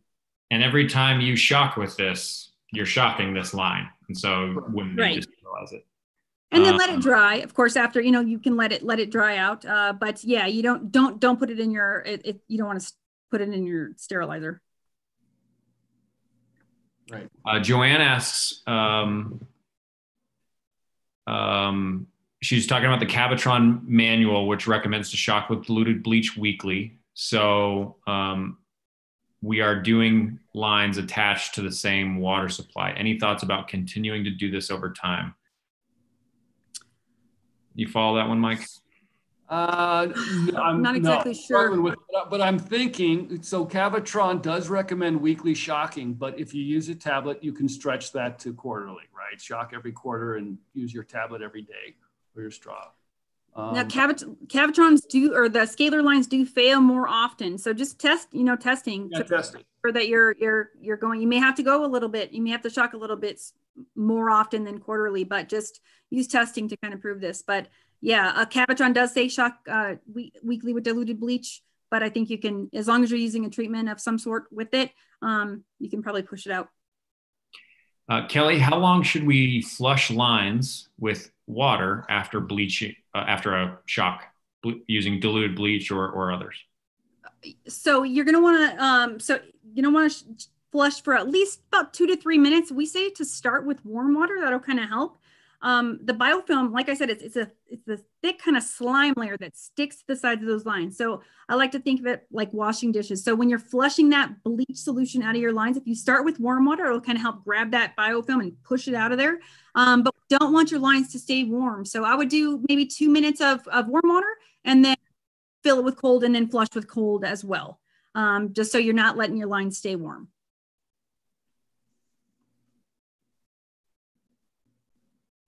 Man, did you mute yourself again jeez. Um, Frederick asked, should piezo surgery and implant, implant, uh, I don't know that word, drills system? Osteotomy. Thank you, Mike. Yeah. That's 35 years experience in dental compared to, i'm Uh, like uh should those systems be treated, tested, and shocked? Mike, what do you think? Now, surgical handpieces uh, should be used, you should use sterile water from a sterile source. They should have an external water component. Uh, uh, and they, uh, and you should follow the manufacturer's instructions for sterilization between procedures. All those, are, those products are just like dental chairs. They are all medical devices and the manufacturer has to provide uh, instructions that tell you how to reprocess those instruments between patients so it's safe from one patient to the next. Uh, Floretta was asking if we could show the pooled sample slide. So there you go, Floretta. Um, uh, Norma asked, what's the cost of the quick pass? Mike, you want to take that one? Oh, yeah, the four pack is $89. So you'll never pay more than $22.25 for one of these. The more you buy, the cheaper it gets. And I think the 24 pack, which is our most popular uh, size, is I think it's around $14 per, te- per test. And, and, and occasionally it goes on promotion too. So why, so look, look for it. Ask your supplier. Sometimes they have promotions going like, you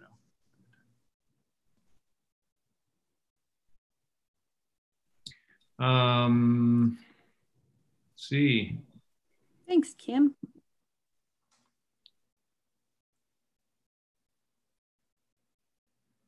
Do you like chlorine, chlorine dioxide products for shocking?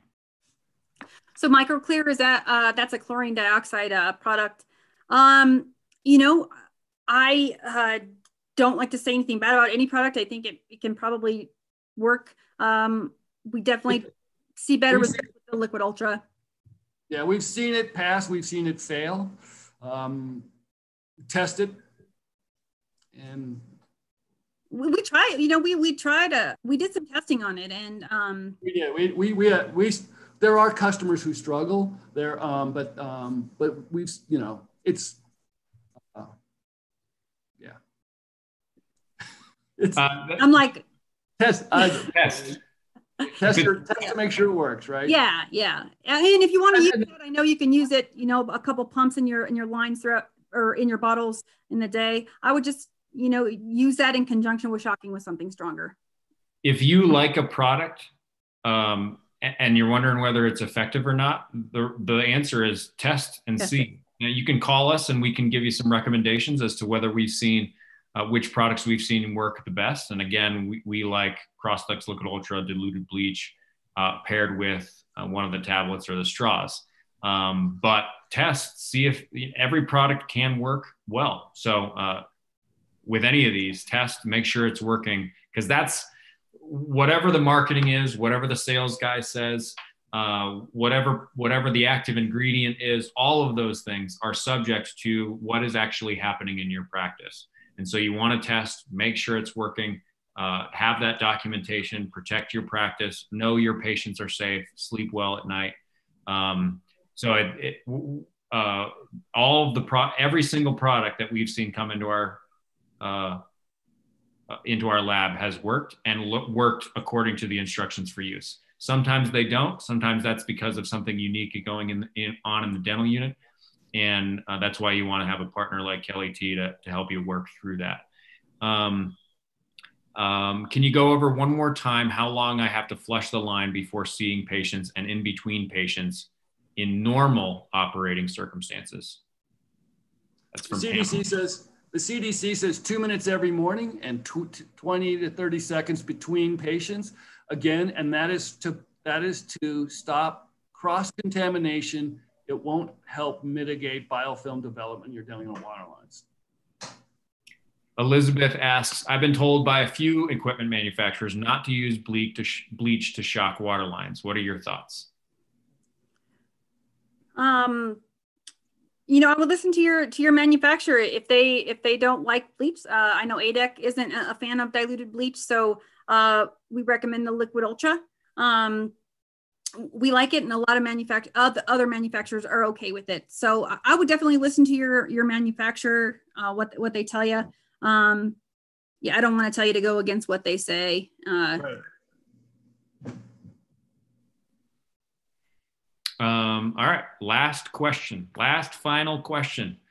Um, can I run empty water bottle and clear the lines uh, and leave the lines empty during the week of closure? So just clarifying COVID, purging, uh, Kelly T, COVID 19 shutdown and purging. What do I do?